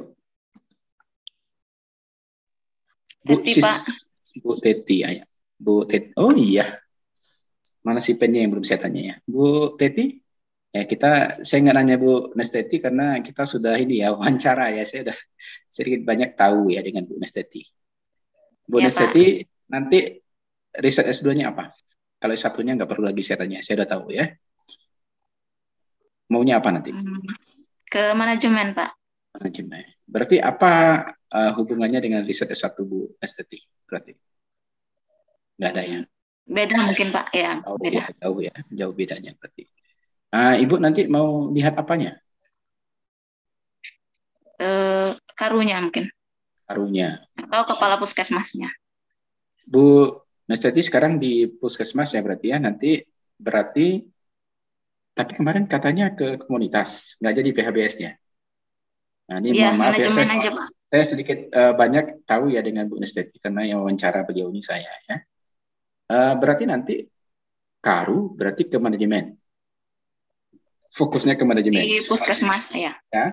Berarti nanti ya Bu Nesteti akan menghasilkan suatu metode baru ya harus wajib itu ya untuk misalnya perubahan apa ya di bisa di kebijakan ya bisa di aturan atau bisa mungkin barangkali melahirkan SOP baru yang harusnya ada di puskesmas tersebut seperti itu ya, ya nanti ibu ya nah, maka di iya, ethical ya, clearance nanti uh, D3 kemudian S1 Bu Nesteti yang ada yang sudah saya tahu itu ya nanti dicatat ya walaupun nggak nyambung ya dengan manajemen perawatan tetapi jadikan itu sebagai dasar Ibu pernah melakukan penelitian A, penelitian B, dan seterusnya. Seperti itu ya Bu ya? Iya Pak. Oke, nah ini uh, di dalam saya lanjutkan ya. Uh, ini sebenarnya slide kita ini panjang ini Bu, 86. Tapi kalau saya bacakan saja ini membosankan nanti ya Bu ya. Jadi di dalam ya uh, penelitian kesehatan uh, pada manusia itu hanya dilakukan bila memenuhi dua kriteria ya Bu ya. Yang pertama adalah kriteria kepatutan, yang kedua adalah kriteria persetujuan. Dan ini bagian wajib yang harus Ibu Bapak lakukan ketika melakukan uh, penelitian terhadap manusia. Dan umumnya dia mengacu pada deklarasi Helsinki. Poin-poin di dalam uh, etika penelitian kesehatan itu juga mengacu pada deklarasi Helsinki ini. Maka kita lihat yang pertama kriteria kepatutan itu apa saja. Yang pertama, ada harapan penelitian tersebut memberikan wawasan baru yang tidak dapat diperoleh dengan cara lain. Ya. Jadi hanya cara ini saja yang bisa dilakukan ya agar tujuan ini tercapai. Maka ini masuk ke dalam kriteria kepatutan. Yang kedua, manfaat penelitian tersebut harus lebih banyak daripada risiko yang akan disandang oleh subjek penelitian. Jadi menjaga pasien atau menjaga subjek itu adalah bagian utama ketika kita melakukan penelitian terhadap manusia. Maka kita harus melihat manfaat penelitian tersebut harus lebih banyak. Ya, jadi artinya kita harus menimbulkan risiko minimal. Ya, jadi kita mencari pasien itu memberikan risiko minimal terhadap pasien. Maka penelitian-penelitian yang non farmakologis biasanya itu memberikan risiko minimal terhadap pasien. Yang ketiga, Kepentingan manusia subjek uh, penelitian selalu ditempatkan di atas kepentingan ilmu pengetahuan. Jadi kalau seandainya ilmu pengetahuan mengatakan harus seperti ini, ya, tetapi manusianya terjadi invasif yang besar padanya, maka pengetahuan itu disampingkan terlebih dahulu. Ya, kepentingan manusia harus diutamakan. Ya, seperti itu. Kemudian penelitian harus sesuai dengan prinsip ilmiah dan harus didasarkan uh, penelitian laboratorium maupun penelitian hewan percobaan serta harus didasarkan pengetahuan yang cukup dari keputusan ilmiah. Kalau seandainya, kalau langsung diberikan ke manusia itu berbahaya, maka penelitian itu harus dimulai dulu dengan penelitian dengan hewan percobaan. Ya, penelitian itu harus uh, dimulai dari mungkin menggunakan uh, pemodelan ya. Kalau seandainya nanti di radioaktif ya, tidak boleh langsung ke manusia. Karena kalau langsung ke manusia itu akan menghasilkan resiko yang banyak. Sementara konsep kepatutannya kita harus memberikan risiko minimal kepada pasien. Kemudian di dalam kriteria kepatutan itu protokol penelitian itu harus jelas dan tertulis dan dinilai terlebih dahulu oleh komisi etik yang independen. Ini saya sampaikan. Jadi nanti eh, sebanyak 35 poin nanti eh, Ibu harus jawab, kemudian nanti akan dinilai oleh komite etik penelitian yang independen. Kemudian penelitian itu harus dilaksanakan oleh peneliti yang berkualitas yang berkualitas baik dan diawasi oleh dokter yang kompeten. Ya, kalau seandainya melakukan penelitian uh, langsung kepada manusia, tetapi di keperawatan kan tidak seperti itu. Biasanya riset-riset kita adalah riset yang berhubungan dengan non farmakologis. Atau kalau seandainya uh, di manajemen keperawatan itu apalagi kita tidak menggunakan intervensi langsung kepada tubuh manusia. Kita hanya memberikan intervensi kepada pengetahuan, kepada sikap, ya, dan pada bagian aturan-aturan yang ada di dalam manajemen keperawatan. Artinya ini aman, ya. Nah, maka ingat ya kriteria kepatutan di dalam penelitian yang berhubungan dengan manusia. Kemudian dalam penelitian dengan subjek manusia itu berlaku standar profesi tertinggi, bukan standar pengetahuan dan kemampuan yang rata-rata. Jadi siapa pun yang memperlakukan penelitian kepada manusia, maka dia harus pakar terlebih dahulu.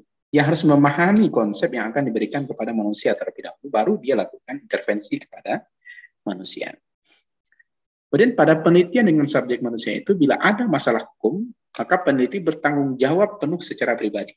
Nah, ini enaknya Bu kalau ada ketika apa komite etik yang bertanggung jawab tidak hanya kita sebagai peneliti, tetapi ada komite etik yang berada di belakang kita. Ya, kalau seandainya ada masalah, ya uh, maka komite etik juga bisa uh, apa namanya membantu untuk menyelesaikan permasalahan yang ada.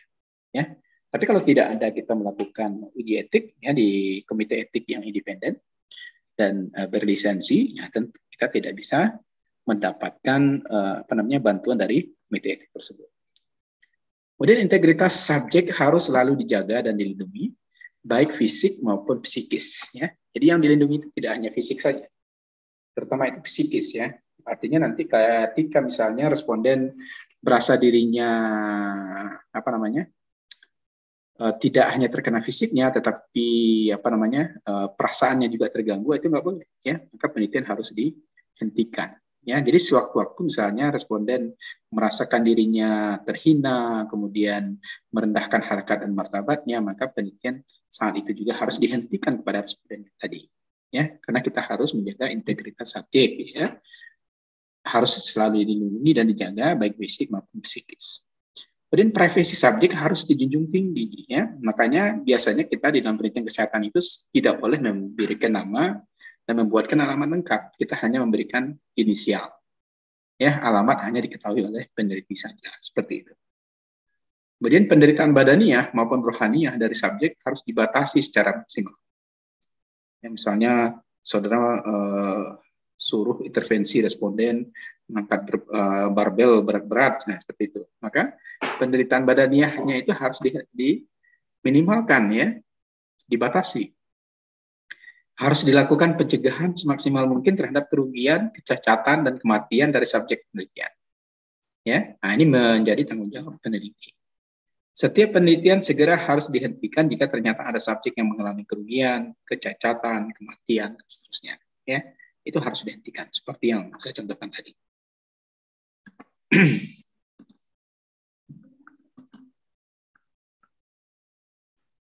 khusus ya untuk peneliti yang bersifat uji klinis ya. Secara eksperimental yang menggunakan pasien sebagai subjek terdapat beberapa syarat yang khusus ya. Yang pertama, untuk penelitian uji klinis terhadap pasien hanya diperbolehkan bila ada indikasi medis ya. Apa indikasi medisnya? Yang pertama, penelitian pada pasien atas dasar indikasi medis dan dengan persetujuan pasien hanya dapat dilaksanakan sebaiknya jika peneliti adalah bukan dokter yang merawatnya. Ya.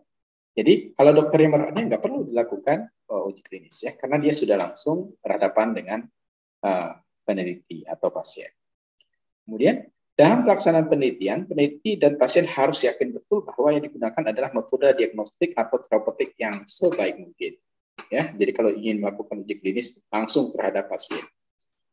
Kemudian jika ada pasien yang tidak memberikan persetujuan untuk ikut dalam penelitian, maka hal itu dijamin tidak ada dampak negatif terhadap dokter pasien. Jadi misalnya inform consent dia tidak mau isi, maka nanti ketika dokter itu melakukan tindakan-tindakan medis selanjutnya, ya tidak boleh berubah sikapnya, ya karena uh, harus dibedakan mana yang bagian untuk riset, ya mana bagian untuk membantu uh, menyelamatkan pak pasien, ya pasien yang sedang dalam keadaan koma atau pasien yang mempunyai penyakit yang tidak mungkin dapat disembuhkan atau pasien yang dalam stadium akhir hidupnya tidak diperkenankan dijadikan subjek penelitian. Jadi hati-hati juga.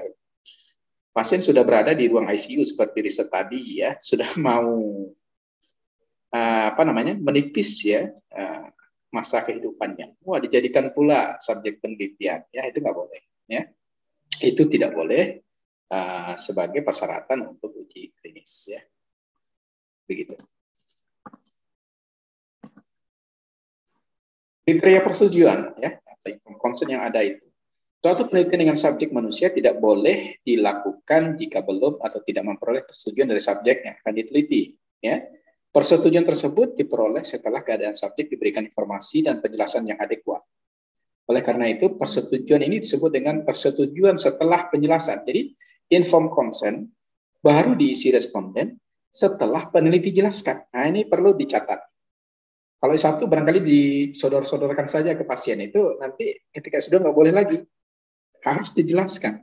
Saya akan melakukan penelitian ini, efeknya nanti akan seperti ini. Kalau ibu nanti bisa uh, merasakan A, B, C, dan D, ibu bisa melakukan, uh, menyampaikan keluhannya ke saya. Apakah ibu bersedia melakukan uh, ikut penelitian bersama saya? Nah, jadi kalau jadi kata ibu itu baru kita sodorkan inform konsen ya. Ini kan enggak kalau satu inform consent itu hanya ada di dalam catatan saja. Tidak pernah kita sampaikan ke responden. Seperti itu Bu Nesteti. Satu kemarin? Atau D3 kemarin Bu Nesteti? Pak. Kalau D3 atau S1 kemarin bagaimana cara memberikan inform consent itu? Diberikan langsung ke pasien? Ke iya. responden? Iya. Tidak ada dijelaskan sama sekali kan? Ya. itu ya. Ya. Nah, jadi nanti ketika di pasca ini ibu nggak boleh lagi seperti itu ya. Jadi bagian-bagian ini penting untuk disampaikan ke mahasiswa S2 mahasiswa S3 untuk dilaksanakan ya. Ia harus disampaikan ya inform consent itu. Maka dinamakan dengan PSP persetujuan setelah penjelasan. Nah, itu inform consent sebenarnya. Terminologinya itu ya inform consent tidak sodor-sodorkan saja suruh tanda tangani. Kadang-kadang setelah tanda tangani kita kita pula yang bikin namanya Ibu ini setia ya. Karena respondennya nggak bisa tulis baca, dia hanya bisa tanda tangani saja seperti itu. Jadi nanti ketika Ibu melakukan penelitian di pasca ini nanti harus sesuai dengan format yang sebenarnya. Jadi informasi pada subjek penelitian atau pasien maupun non pasien merupakan syarat mutlak untuk memperoleh inform consent di dalam kriteria persetujuan. Ya. Informasi harus diberikan selengkap mungkin dan tidak boleh ada informasi tertentu yang dirahasiakan oleh peneliti. Ini nggak boleh rahasia. Ya. Dengan uh, subjek penelitian atau dengan responden atau dengan pasien, kita nggak boleh berahasia. Di dalam deklarasi Hasinski, isi informasi untuk memperoleh inform consent harus mencakup the aims, tujuan, method, metode, kemudian anticipated benefit-nya, kalau seandainya uh, ada keuntungan yang didapatkan, ya, Kemudian ada potential hazard of the study and it's confirmed it may entail. Itu harus ada di dalam inform consent. Ya, jadi di inform consent itu uh, nanti penjelasannya apa-apa saja nanti yang didapatkan eh, oleh pasien ketika dia ikut di dalam penelitian kita, kemudian apa-apa saja nanti yang uh, pasien yang merasa tidak nyaman, apa apakah dia boleh keluar uh, secara langsung ketika dia merasakan dirinya terhina itu itu harus harus ada di dalam inform consent ya. Di samping itu perlu pula diketahui bahwa persetujuan subjek setiap waktu dapat ditarik. Jadi ketika dia merasa tidak nyaman dia tarik inform consentnya itu. Meskipun penelitian belum berakhir ya. Nah di etika penelitian kesehatan di dalam uh, apa namanya pertanyaan uh, ethical clearance itu ya beberapa, uh, beberapa puluh buah pertanyaan itu ada pernyataan ini Ketika misalnya subjek merasa dirinya terhina, kemudian merasa dilukai perasaannya, maka dia boleh menarik inform consentnya. Dia bisa keluar dari penelitian yang sedang kita lakukan. Nah, itu ya. Di subjek itu atau responden atau pasien itu raja ketika penelitian kita lakukan. Ya, maka pandai-pandailah dengan pasien. Ya, jangan sampai merusak perasaannya, jangan sampai merasa subjek itu terhina. Eh, ini daftar uh, dasar rujukannya. Yang pertama adalah adanya principle of biomedical ethics. Kemudian ada Belmont Report, ya. Uh, Belmont Report ini berisi the National Commission for the Protection of Human Subject of Biomedical and Behavioral Research, ya. Kemudian ada Nuremberg Code, ya, ini yang deklarasi Helsinki yang sudah kita sering baca tadi. Kemudian juga ada International Ethical Guideline for Biomedical Research Involving Human Subject. Inilah dasar lahirnya uh, etika penelitian kesehatan secara dunia ya, yang tentu berasal dari deklarasi Helsinki. Maka ethical uh, basisnya ya, uh, fondasi daripada itu adalah uh, deklarasi Helsinki, kemudian ada Nuremberg Code, ada SAYOMS yang kita sudah sampaikan tadi yang bekerja sama dengan WHO, kemudian ada uh, culture uh, lokal ya, ada kultur lokal. Di Indonesia juga tentu ada, ada national law and regulation yang dibikin uh, oleh uh, hukum dan HAM ya, kemudian ada agama, kemudian maka semuanya ini diramu di dalam KIPKN ya, dan dia menjadi guideline uh, nasional atau national guideline uh, bagaimana memutuskan suatu uh, komite etik ya penelitian kesehatan secara nasional ya kita mengacu ya Institut Kesehatan Prima Nusantara mengacu pada ini ya pada KIPPK ini. Nah ini ada uh, saya singkat saja ini Nuremberg Code ini ya nanti semua jawaban yang uh, dihasilkan dari pertanyaan-pertanyaan yang bisa saudara jawab sebagai peneliti di dalam ethical research ya dimasukkan kepada Nuremberg Code ya dia akan ada risiko ya uh, kebermanfaatan, kemudian kode-kode juga ada sudah ada semua ya informasi juga seperti itu ya. Kemudian uh, ada juga deklarasi Helsinki di mana deklarasi Helsinki ini adalah hak subjek untuk memanfaatkan hasil penelitian setelah penelitian selesai dilaksanakan. Ya, ini nanti uh, report ya atas hasil penelitian itu beri, perlu disampaikan kepada pasien ya, perlu disampaikan kepada responden atau perlu disampaikan kepada uh, orang yang uh, saudara ikut sertakan di dalam pendidikan kita. Kemudian nanti diperkenalkannya formulasi beban atau burden, sesuatu yang direncanakan akan dijalani, ditanggung oleh semua subjek di samping risiko yang mungkin dapat terjadi, yang juga harus dipertimbangkan dalam menilai kelayakan etik penelitian. Ya, ini ada di dalam paragraf 8 dan paragraf 18 di deklarasi Helsinki. Kemudian nanti keterlibatan dokter yang merawat pasien sebagai peneliti, di mana peneliti mendaya gunakan pasiennya sebagai subjek. Ya. Dan peneliti harus berhati-hati dan mengambil langkah khusus jika penelitiannya dapat merusak lingkungan.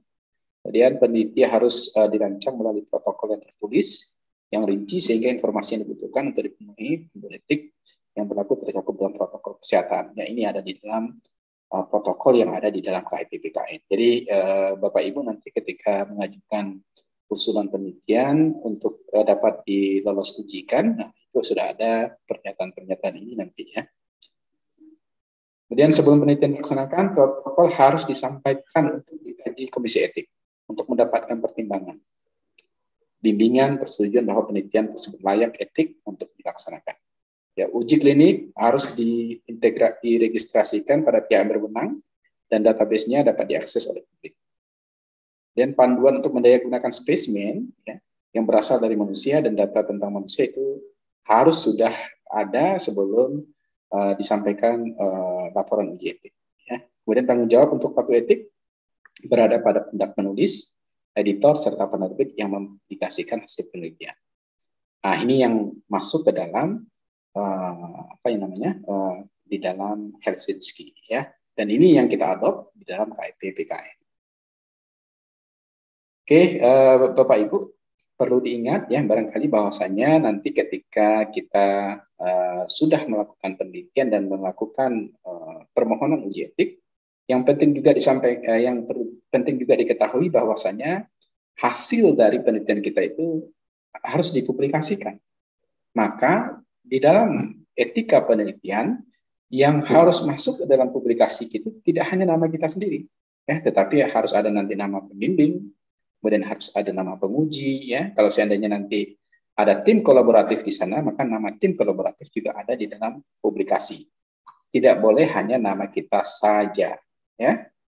Bahkan aturan kita nanti untuk uh, Bapak Ibu uh, apa uh, di wisuda atau di yudisium, Bapak Ibu juga harus uh, bisa mempublikasikan mungkin uh, apa pun tidak di publikasi internasional, mungkin publikasi nasional yang berindeks SIMTA ya maka semua nama uh, ibu sebagai peneliti, kemudian pembimbing, kemudian juga penguji itu harus ada di dalam uh, publikasi tersebut. Ya, nah itu dinamakan dengan etika penelitian ya yang juga masuk ke dalam uh, kaitannya di dalam setelah dilakukan uh, uji etik. Eh, panduan selanjutnya adalah aksiom yang berkolaborasi dengan WHO. Ini barangkali silakan saja nanti uh, baca ya. Kemudian uh, prinsip umum ya etik penelitian kesehatan itu ya, pada tahun 1979 ya uh, dalam buku prinsip Principle of Biomedical Ethics dirumuskan empat prinsip etik biomedik itu. Ya, yang pertama adalah respect for person, beneficent, justice, ya, mana rumusan dan pemahaman digagas uh, banyak diadopsi dan dijadikan landasan pemahaman etik biomedik oleh berbagai pihak ya termasuk dalam mengembangkan etik penelitian. Kemudian ada prinsip menghormati harakat dan martabat manusia atau respect for person. Kemudian ada prinsip berbuat baik beneficent ya dan tidak merupakan non ya ini harus ada ketika kita sudah melakukan penelitian terutama penelitian yang dilakukan langsung kepada manusia. Dan ada prinsip keadilan atau justice ya, di mana prinsip justice ini menyangkut kewajiban untuk memperlakukan setiap manusia secara baik benar, memberikan apa yang menjadi haknya serta tidak membebani mereka dengan apa yang bukan menjadi kewajiban. Kemudian ini adalah landasan hukum etik penelitian kesehatan Indonesia yang menjadi dasar KEP PKN ya membuat uh, format untuk melakukan uh, uji etik.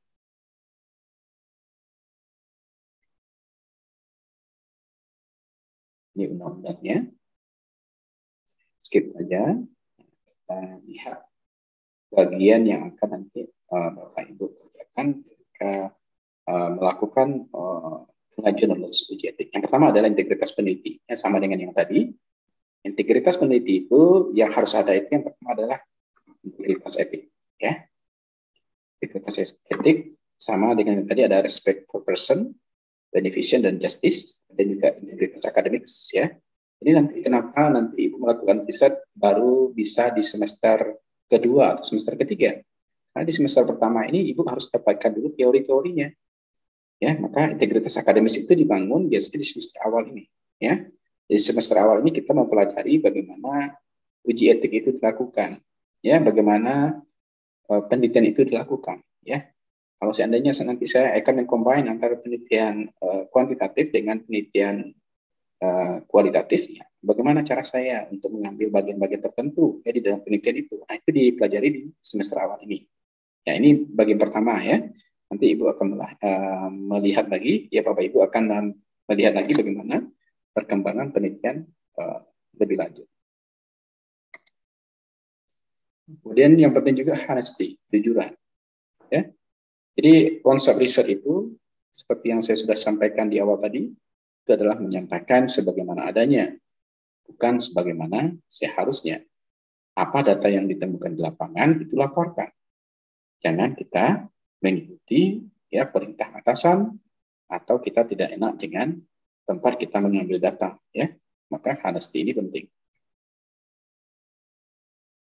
kemudian ada trust percaya ya ketika kita sudah menanyakan sesuatu ke responden maka kita sebagai peneliti harus trust ya percaya jangan oh you mau ditumpang enggak enggak nah, enggak boleh seperti itu ya kita harus percaya kepada responden kita kita harus percaya kepada pasien kita.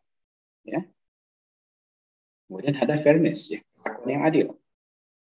Ya, hubungan antara peneliti, subjek penelitian dan bagian administrasi harus didasarkan pada aturan main dan prosedur yang jelas serta praktek-praktek yang bisa dipertanggungjawabkan. Itu fairness namanya.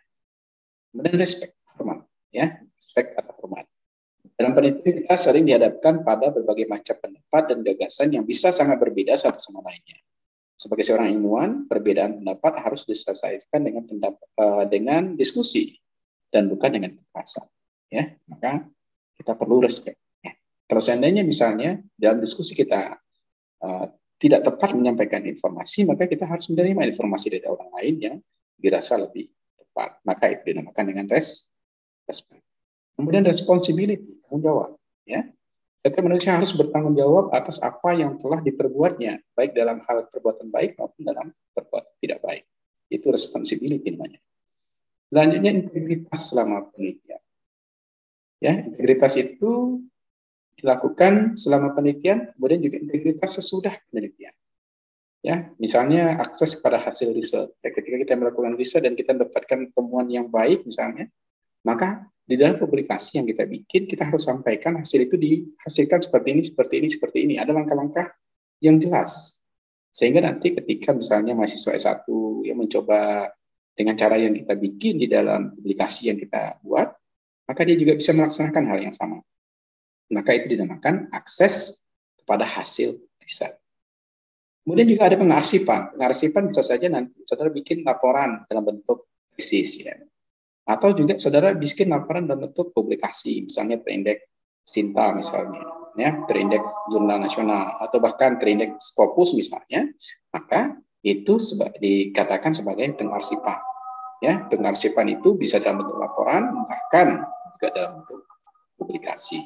Ya, tapi nanti saya harapkan Bapak Ibu bisa membuat suatu publikasi yang bisa nanti Bapak Ibu jadikan sebagai karya Ibu yang bisa Ibu ceritakan nanti kepada mungkin kepada anak cucu ya atau kepada rekan sejawat ya atau kepada mahasiswa ya kalau seandainya nanti Ibu juga bisa menjadi uh, pengajar ya atau dosen.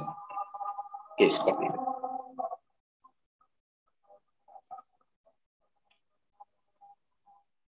Oke, yang juga harus diingat ketika kita membahas ketika penelitian itu adalah plagiarisme, ya. Jadi plagiat itu adalah hal yang tidak uh, sangat tidak dibenarkan ketika kita uh, menulis suatu publikasi atau kita membuat suatu laporan penelitian. Apa itu plagiat? Plagiat itu adalah mengambil ide orang lain, gagasan orang lain, atau proses atau hasil orang lain dan menyatakan sebagai milik kita ya itu dinamakan dengan plagiat. Entah secara langsung maupun secara tidak langsung. Ya misalnya dengan tidak menyebut sumbernya tidak menyampaikan uh, tidak menyampaikan kita ambil dari mana ya maka itu dinamakan dengan plagiat. Atau bisa juga dilakukan dengan cara mencuri data orang lain ya, atau mengambil ide-ide orang lain. Misalnya bapak ibu ini berdiskusi oh saya tertarik A B C D ya terdengar sama temannya. Temannya ambil. Nah itu dinamakan kita melakukan plagiat tapi sayangnya kalau diskusi seperti itu, kita tidak bisa mengatakan dia mengambil di mana, ya, karena kita hanya berdiskusi. Maka hati-hati juga ketika berdiskusi, ya pandai-pandai menyampaikan uh, ide yang ada di kepala kita. Jangan sampai ide kita diambil oleh orang lain, kemudian dilakukan oleh orang lain terlebih dahulu. Kita belum melakukan, ya. Nah, kalau seperti itu belum belum namanya, ya. Kita telat untuk memulai penelitian. Dan juga yang tidak boleh itu adalah pemalsuan data. Ya, pemalsuan data ini yaitu memanipulasi hasil riset. Sebenarnya risetnya ini tidak berhubungan, kita bikin berhubungan. Risetnya ini tidak berpengaruh, kita bikin berpengaruh. Maka itu dinamakan dengan pemalsuan data. Maka hati-hati juga untuk pemalsuan data ini. Maka di dalam ketika penelitian ini, ya sebelum penelitian dilaksanakan, protokol harus disampaikan untuk dikaji komisi etik untuk mendapatkan pertimbangan, bimbingan, dan persetujuan bahwa penelitian tersebut layak etik untuk dilaksanakan. Itu ada di dalam paragraf 15 di dalam KIPPKN. Ya. Kemudian uji klinik harus diintegrasikan pada pihak berwenang di mana database-nya dapat diakses oleh publik. Ya, nanti kita akan belajar ya bagaimana cara uh, mengambil database ya dari uh, pihak-pihak uh, yang berwenang ini. Dan ada panduan untuk menyindaya gunakan spesimen yang berasal dari manusia dan data dan manusia, ada pada paragraf 25. Dan tanggung jawab untuk patuh etik berada pada penulis, editor, serta penerbit yang mempublikasikan hasil penelitian. Kemudian, ya di bagian terakhir kita membahas inform consent Bapak Ibu. Inform consent itu adalah suatu proses di mana subjek secara sukarela mengkonfirmasi kesediaannya untuk berpartisipasi dalam percobaan tertentu setelah diberitahu tentang semua aspek percobaan yang relevan dengan keputusan subjek untuk berpartisipasi. Maka kita mengenal adanya persetujuan setelah bahasa PSP. Ya. Ini tadi juga sudah saya singgung ya, tapi secara lengkapnya ada di sini. Silakan nanti Ibu lihat kembali. Kemudian informasi esensial dalam PSP itu adalah uh, berdasarkan Kemenkes di 2012 ya, itu tujuannya semua ya. Kemudian pemahaman PS, PSP PSP itu adalah gunakan bahasa yang jelas, sederhana, bila perlu pakai bahasa daerah setempat. Ini kadang-kadang gitu ya, kadang-kadang uh, ada masyarakat atau responden yang tidak bisa berbahasa Indonesia, itu bisa menggunakan bahasa setempat. Kemudian gunakan kalimat-kalimat yang singkat, jangan bertele-tele.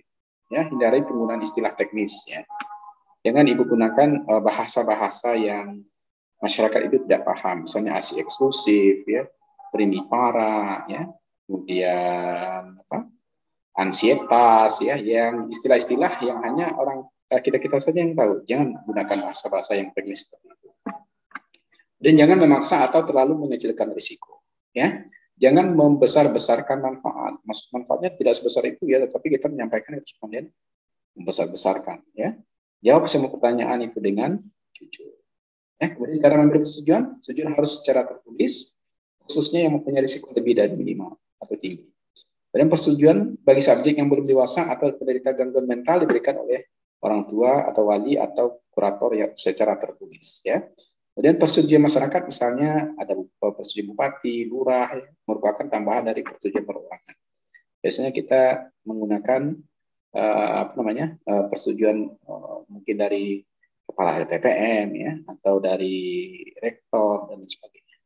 Dan juga ada asen sebaiknya diminta dari peserta umum 13 sampai dengan 17 tahun. Jadi kalau sudah menggunakan inform consent ini atau persetujuan setelah penjelasan itu kita uh, untuk responden 13 sampai dengan 17 tahun. Kita melihat uh, kebiat apa bisa atau tidaknya dia tulis baca.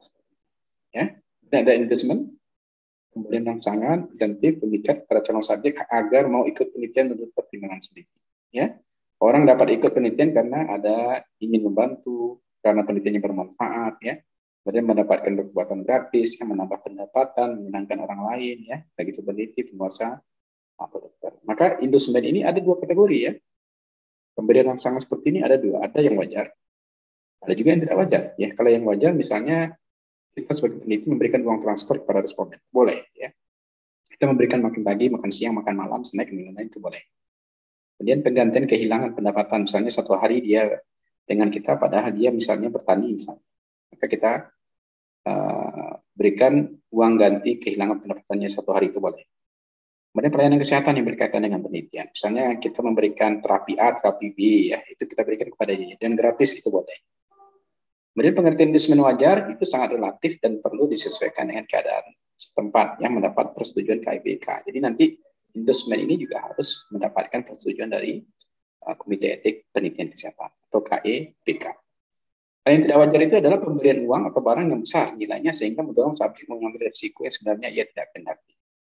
Ya nah itu tidak boleh ya.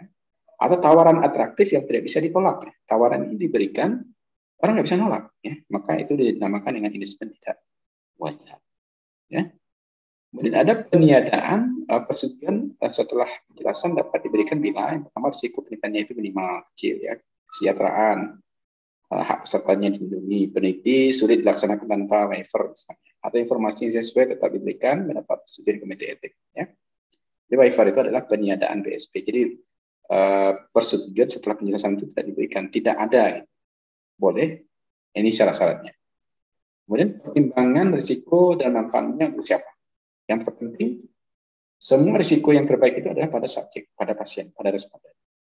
Namun manfaat bagi subjek, peneliti, dan juga masyarakat berupa tambahan pengetahuan juga bisa dilakukan. Misalnya pemberian penyuluhan, ya, yang hanya bermanfaat untuk masyarakat saja bisa dilakukan, tetapi dengan risiko minimal. Jadi ketika kita memberikan uh, segala sesuatu itu ya uh, penelitian kepada masyarakat baik itu di dalam uh, atas nama pasien atau responden, maka yang dilihat itu adalah jenis risiko. Risiko fisiknya apa? Maka risiko fisik yang baru boleh diberikan kepada masyarakat itu apabila risiko fisiknya minimal. Psikologisnya juga seperti itu minimal. Risiko sosialnya juga minimal, ya. Tapi manfaatnya besar, ya, bagi subjek ada misalnya layanan kesehatan gratis ya misalnya ada pemeriksaan fisik ya pemeriksaan laboratorium X-ray dan lain-lain ya yang bisa diberikan kepada masyarakat dan gratis nah, itu boleh ya kemudian kemungkinan bahwa obat atau perlakuan yang diteliti bermanfaat untuk menyembuhkan penyakitnya ya atau perhatian khusus dari dokter ya ketika dilakukan penelitian yang melakukan penelitiannya dokter tentu dia mau dokter memberikan perlakuan khusus kepada uh, responden atau pada pasien bagi orang lain atau masyarakat, kalau seandainya diberikan penyembuhan, maka tentu dia akan mendapatkan pengetahuan baru. Ya, kalau seandainya uh, bentuk intervensinya adalah penyuluhan. Sekarang bagaimana meminimalisir resiko? Ya, cara meminimalisir risiko itu yang pertama adalah gunakan metode dengan potensial risiko paling kecil. Ya, kemudian tetapkan kriteria tersendiri untuk menjaga agar subjek terhindar dari risiko. Yang ketiga, baca dengan baik, hati-hati dan teliti tentang informasi yang berkaitan dengan risiko yang berhubungan dengan intervensi. Yang keempat, pilihlah percobaan dengan risiko paling kecil se sehingga ya uh, paling sedikit ya menyebabkan ketidaknyamanan. Nah, itu cara kita meminimalisir risiko. Berbagai upaya mengurangi risiko pada saat itu yang pertama adalah kita gunakan metode penelitian yang terbaik. Rasionalnya, kemudian desainnya tepat, metodologinya baik, ya. kriteria inklusi dan eksklusi yang kita terapkan itu sudah tepat, ya. Kemudian penghentian keikutsertaan subjek kalau seandainya terjadi uh, ketidaknyamanan pada responden, ya. Kemudian terminasi penelitian. Jadi jangan penelitian itu terus saja tanpa ada batasan, ya, tanpa ada jam istirahat, ya, harus ada terminasi penelitian. Kemudian ada monitoring keamanan, ya. Kalau seandainya ini sudah dilakukan, maka Tentu metode penelitian ini adalah metode penelitian yang baik sehingga dapat mengurangi risiko pada subjek penelitian. Kemudian kompetensi atau kualifikasi tim peneliti. Ketika melakukan penelitian, bagian terpenting yang juga harus dilakukan itu adalah kompetensi peneliti. Kita betul-betul memahami apa subjek, apa tema atau topik yang akan kita teliti, dan kita juga bisa memberikan hal terbaik kepada subjek penelitian dengan kompetensi yang kita miliki atau kualifikasi tim yang kita punya. Ya. Kemudian ada persetujuan dari komite etik. Fasilitas tempat yang baik, misalnya penelitiannya di rumah sakit, penelitiannya misalnya di ruang tertentu yang memang memiliki fasilitas yang baik ya ada screening dulu ya untuk subjek untuk uh, mengurangi risiko kalau seandainya subjeknya akan memiliki risiko tinggi nanti kita drop out kemudian wanita juga seperti itu dalam usia reproduksi pakai kontrasepsi ya, itu hati-hati ya Nah, itu diminimalisir dulu resikonya. Kemudian perhatikan semua risiko potensial, fisik, psikologi, sosial, jangka pendek dan jangka panjang ya. Selama dan setelah penelitian selesai, kemudian risiko bila kerahasiaan data bocor ya, itu perlu diperhatikan. Kemudian mempersiapkan pertolongan bila terjadi efek samping ya, side effect. Contoh menyediakan fasilitas resuscitas untuk uji klinik obat fase 1 misalnya, maka perlu dilakukan uh, apa namanya uh, pertolongan untuk side effect ya, menghindarkan pemaksaan, contohnya pemberian honor yang terlalu besar atau honor ditarik pada akhir penelitian yang berlangsung lama ya, itu sogo ya, jadi nggak boleh ya. Kemudian menjaga kerahasiaan data subjek, ya bocornya data subjek dapat merusak masa depan subjek itu juga tidak boleh dilakukan. Ya kita peneliti itu harus menjaga kerahasiaan subjek penelitian. Memberi kebebasan subjek menolak ikut dan mengundurkan diri dari penelitian dan menghindarkan terjadinya penelitian ulangan nggak boleh ya apalagi penelitian intervensi. Ya, diulangi lagi, data salah tadi, diulangi lagi, nggak boleh. Karena melakukan invasif kepada pasien itu dilarang ketika kita melakukan penelitian. Kalaupun dibolehkan, invasifnya nggak boleh diulang. Ya. Memberikan rasa tidak nyaman ke pasien itu tidak boleh diulangi lagi. Ya, misalnya melakukan injeksi misalnya. Ini salah data tadi, injeksi lagi itu nggak boleh. Ya. Jadi makanya tadi dikatakan peneliti itu harus orang yang berkompeten atau tim yang uh, ada di dalam penelitian itu mempunyai kualifikasi yang baik ya mengantisipasi terjadinya efek samping yang potensial ya side effect itu harus diminimalisir kemudian ada pemanfaatan adverse effect ya oke nah kemudian insentif itu diatur ya uh, oleh deklarasi resensi peneliti juga harus menyerahkan informasi tentang pembiayaan sponsor institusi terkait konflik penelitian itu harus di sampaikan ke KEPK ya harus diberikan uang berapa nanti tercatat ya sehingga nanti tidak ada yang tidak ter, apa ya terekam oleh KEPK. Subjek dapat diberi kompensasi untuk kehilangan penghasilannya. Penggantian uang tersebut tidak boleh terlalu besar, ya. Kemudian insentifnya harus wajar, ya. Dan tidak boleh melakukan tidak wajar. Dan pembayaran atau hadiah diberikan kepada subjek harus sebanding dengan resiko tanggungnya.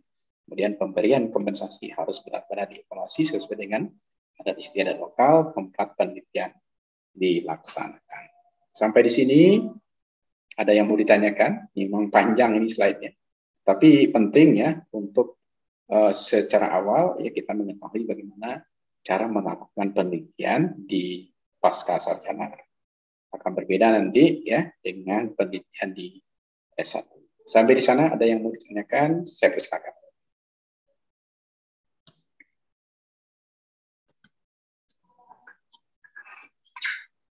Ada yang mau ditanyakan? Enggak, Pak. Mungkin bagi slide-nya nanti. Oh ya, ya dibagikan nanti. Slide-nya memang dibagikan nanti. Pertanyaannya ada, Pak Fajri? Bu Sisri? Bu Gustira? Ini udah kelihatan ini ya wajah-wajah paskanya ada mulai kelihatan. Sudah nggak seperti anak S1 lagi saya lihat. Apalagi Bu Nurul ya. Kalau di sini saya panggilnya Bu Nurul ya. Kalau di kampus saya panggilnya Bu Bila. ya, sama jalan apa? Oh, sama aja ya Bu Bila. iya. Ya ke atas saya ketemu dengan Bu Dila ini ya. Tapi saya malas ke atas itu ya. Saya lebih baik di bawah. Itu terjadi. Pak Fajri, ada yang mau ditanyakan Pak Fajri? Ini wajah kita seumuran kayaknya Pak Fajri ya. Aduh. ya, jangan terlalu ini ya, jangan terlalu tegang ya dengan saya nanti. Tapi kita akan banyak melakukan uh, treatment langsung ya. Maka nanti mungkin barangkali kalau bisa Bapak Ibu itu untuk join Zoom itu gunakan laptop. Ya. Nanti saya bisa juga uh, memberikan bagaimana cara uh, mencari data sekunder ya menggunakan eh, teknologi-teknologi yang canggih ya. Jadi data-data itu kita bisa ambil dari internet saja. Kalau seandainya nanti Ibu melakukan misalnya uh, systematical review namanya atau bisa juga melakukan literatur review ya atau melakukan meta analisis namanya. Nanti kita akan belajar tetapi tentu Bapak Ibu harus uh, menggunakan laptop. Ini saya lihat banyak juga yang menggunakan HP. Kalau HP kan susah mencari. Ya. Bu Sisri, HP, uh, laptop ada Ibu ya? Laptopnya sedang dalam perbaikan, Pak.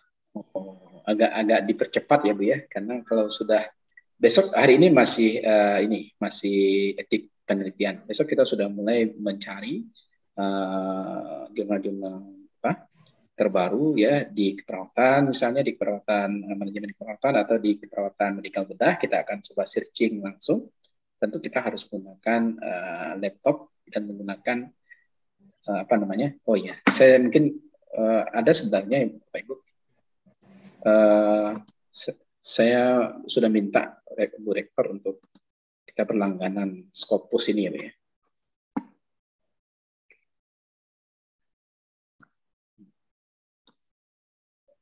Kalau saya share screen sekarang, apa yang muncul Ibu? Sebentar. Saya share screen, nanti uh, kita belajarnya kayak gini Bu. Sebentar. Yang lihat masih slide tadi ya? Bukan. Apa yang terlihat Bu sekarang? Saya saya tuh menggunakan dua monitor ini Bu ya. Jadi saya sering bekerja menggunakan dua monitor. Jadi saya kadang-kadang nggak tahu yang Ibu lihat yang mana. Sekarang Ibu lihat apa? internet kan? Di layar Ibu lihat apa sekarang? Web, Pak. Apa? Web, Pak, WA web. Ah, ya web ya. Ini yang saya. Jadi nanti kita belajarnya kayak gini, Bu. Walaupun kita Zoom. Jadi nanti uh, saya contohkan ini. Saya buka uh, ini. Nah, jadi nanti kita mencari informasi-informasi terbaru itu di web saja. Ini. Nah, seperti ini. Nah, nanti kita belajarnya seperti ini. Nah, kalau kebetulan ini saya karena saya masih alumni, kita bisa seperti ini.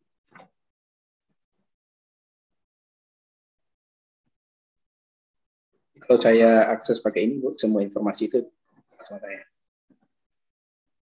Saya mau Bapak Ibu juga bisa melakukan hal seperti ini nanti. Nah, ini namanya kita searching jurnal nih, ya, menggunakan Scopus dan biasanya kita mendapatkan informasi yang cukup uh, luas ya di Scopus ini. Ah, ini seperti ini, Bu. Jadi ini kan kelihatan ini lambang suatu perguruan tinggi, kemudian ada di sini World Class University Program, ya, misalnya di ITB. Karena saya ITB ya, ya tulisannya. Jadi kalau saya mau mencari informasi apa pun nanti di sini itu bisa dengan gampang. Misalnya saya mau ambil judul tentang uh,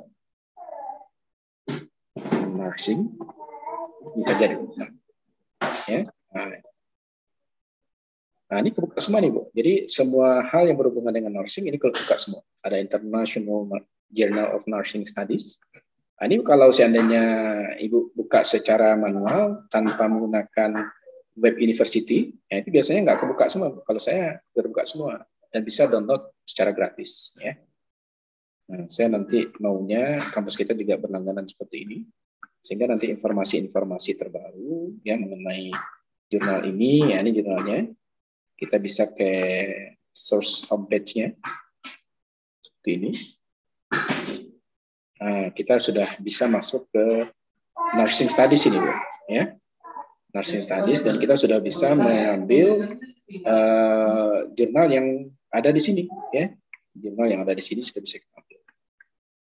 Nah, ini editornya, editor in chief-nya sudah ada. Nah, nanti di pertemuan kita selanjutnya kita seperti ini belajarnya Bapak Ibu. Jadi Bapak Ibu tentu harus uh, menggunakan laptop. Kalau HP yakin saya nggak bisa. Ya, karena HP itu terbatas ya. HP itu terbatas. Jadi kalau kita ingin mencari uh, jurnalnya kita tinggal klik di bagian-bagian ini saja ya. Bagian mana yang sudah publish, bagian mana yang uh, ini volumetric 135 misalnya.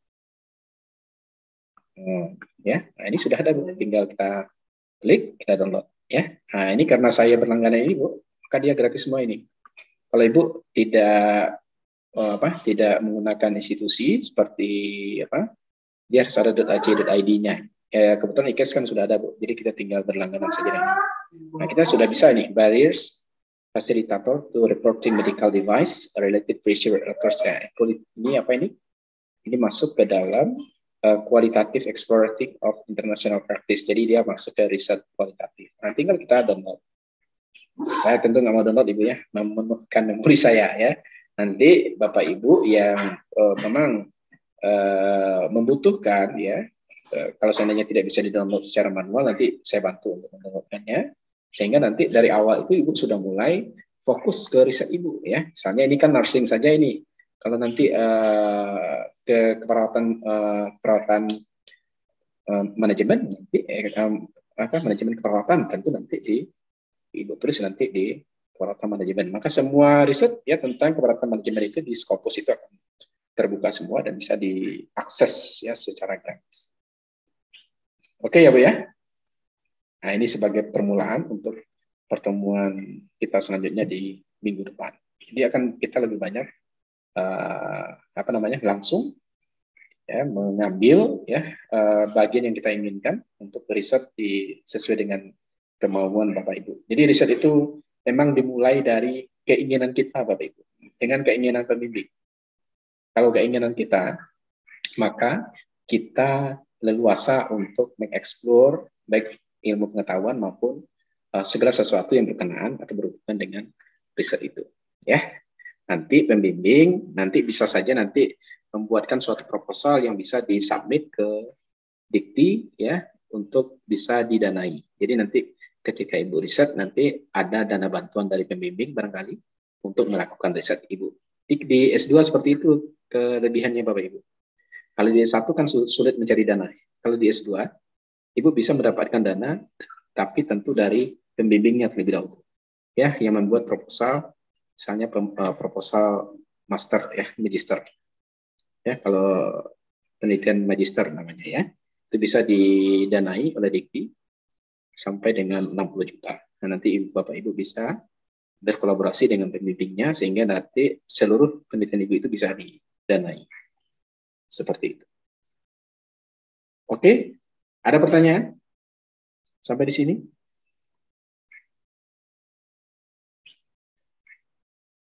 Tidak ada ya. Oke. Kalau tidak ada, kita sampai jam berapa harusnya? Pak Fajri? Kalau dari jam 2 sampai jam? Bu Diana? Dari jam 2 sampai jam berapa? 40, 15, sudah, sudah habis ya. Oke. Kalau begitu kita akhiri ya pertemuan pertama kita. Mudah-mudahan uh, Bapak Ibu tetap semangat untuk lanjut uh, di dalam riset kuantitatif selanjutnya. Assalamualaikum warahmatullahi wabarakatuh. Waalaikumsalam warahmatullahi wabarakatuh. Ya, saya tutup ya. Ada yang mau ditanyakan? Tidak ada ya? Pak. Makasih, Pak.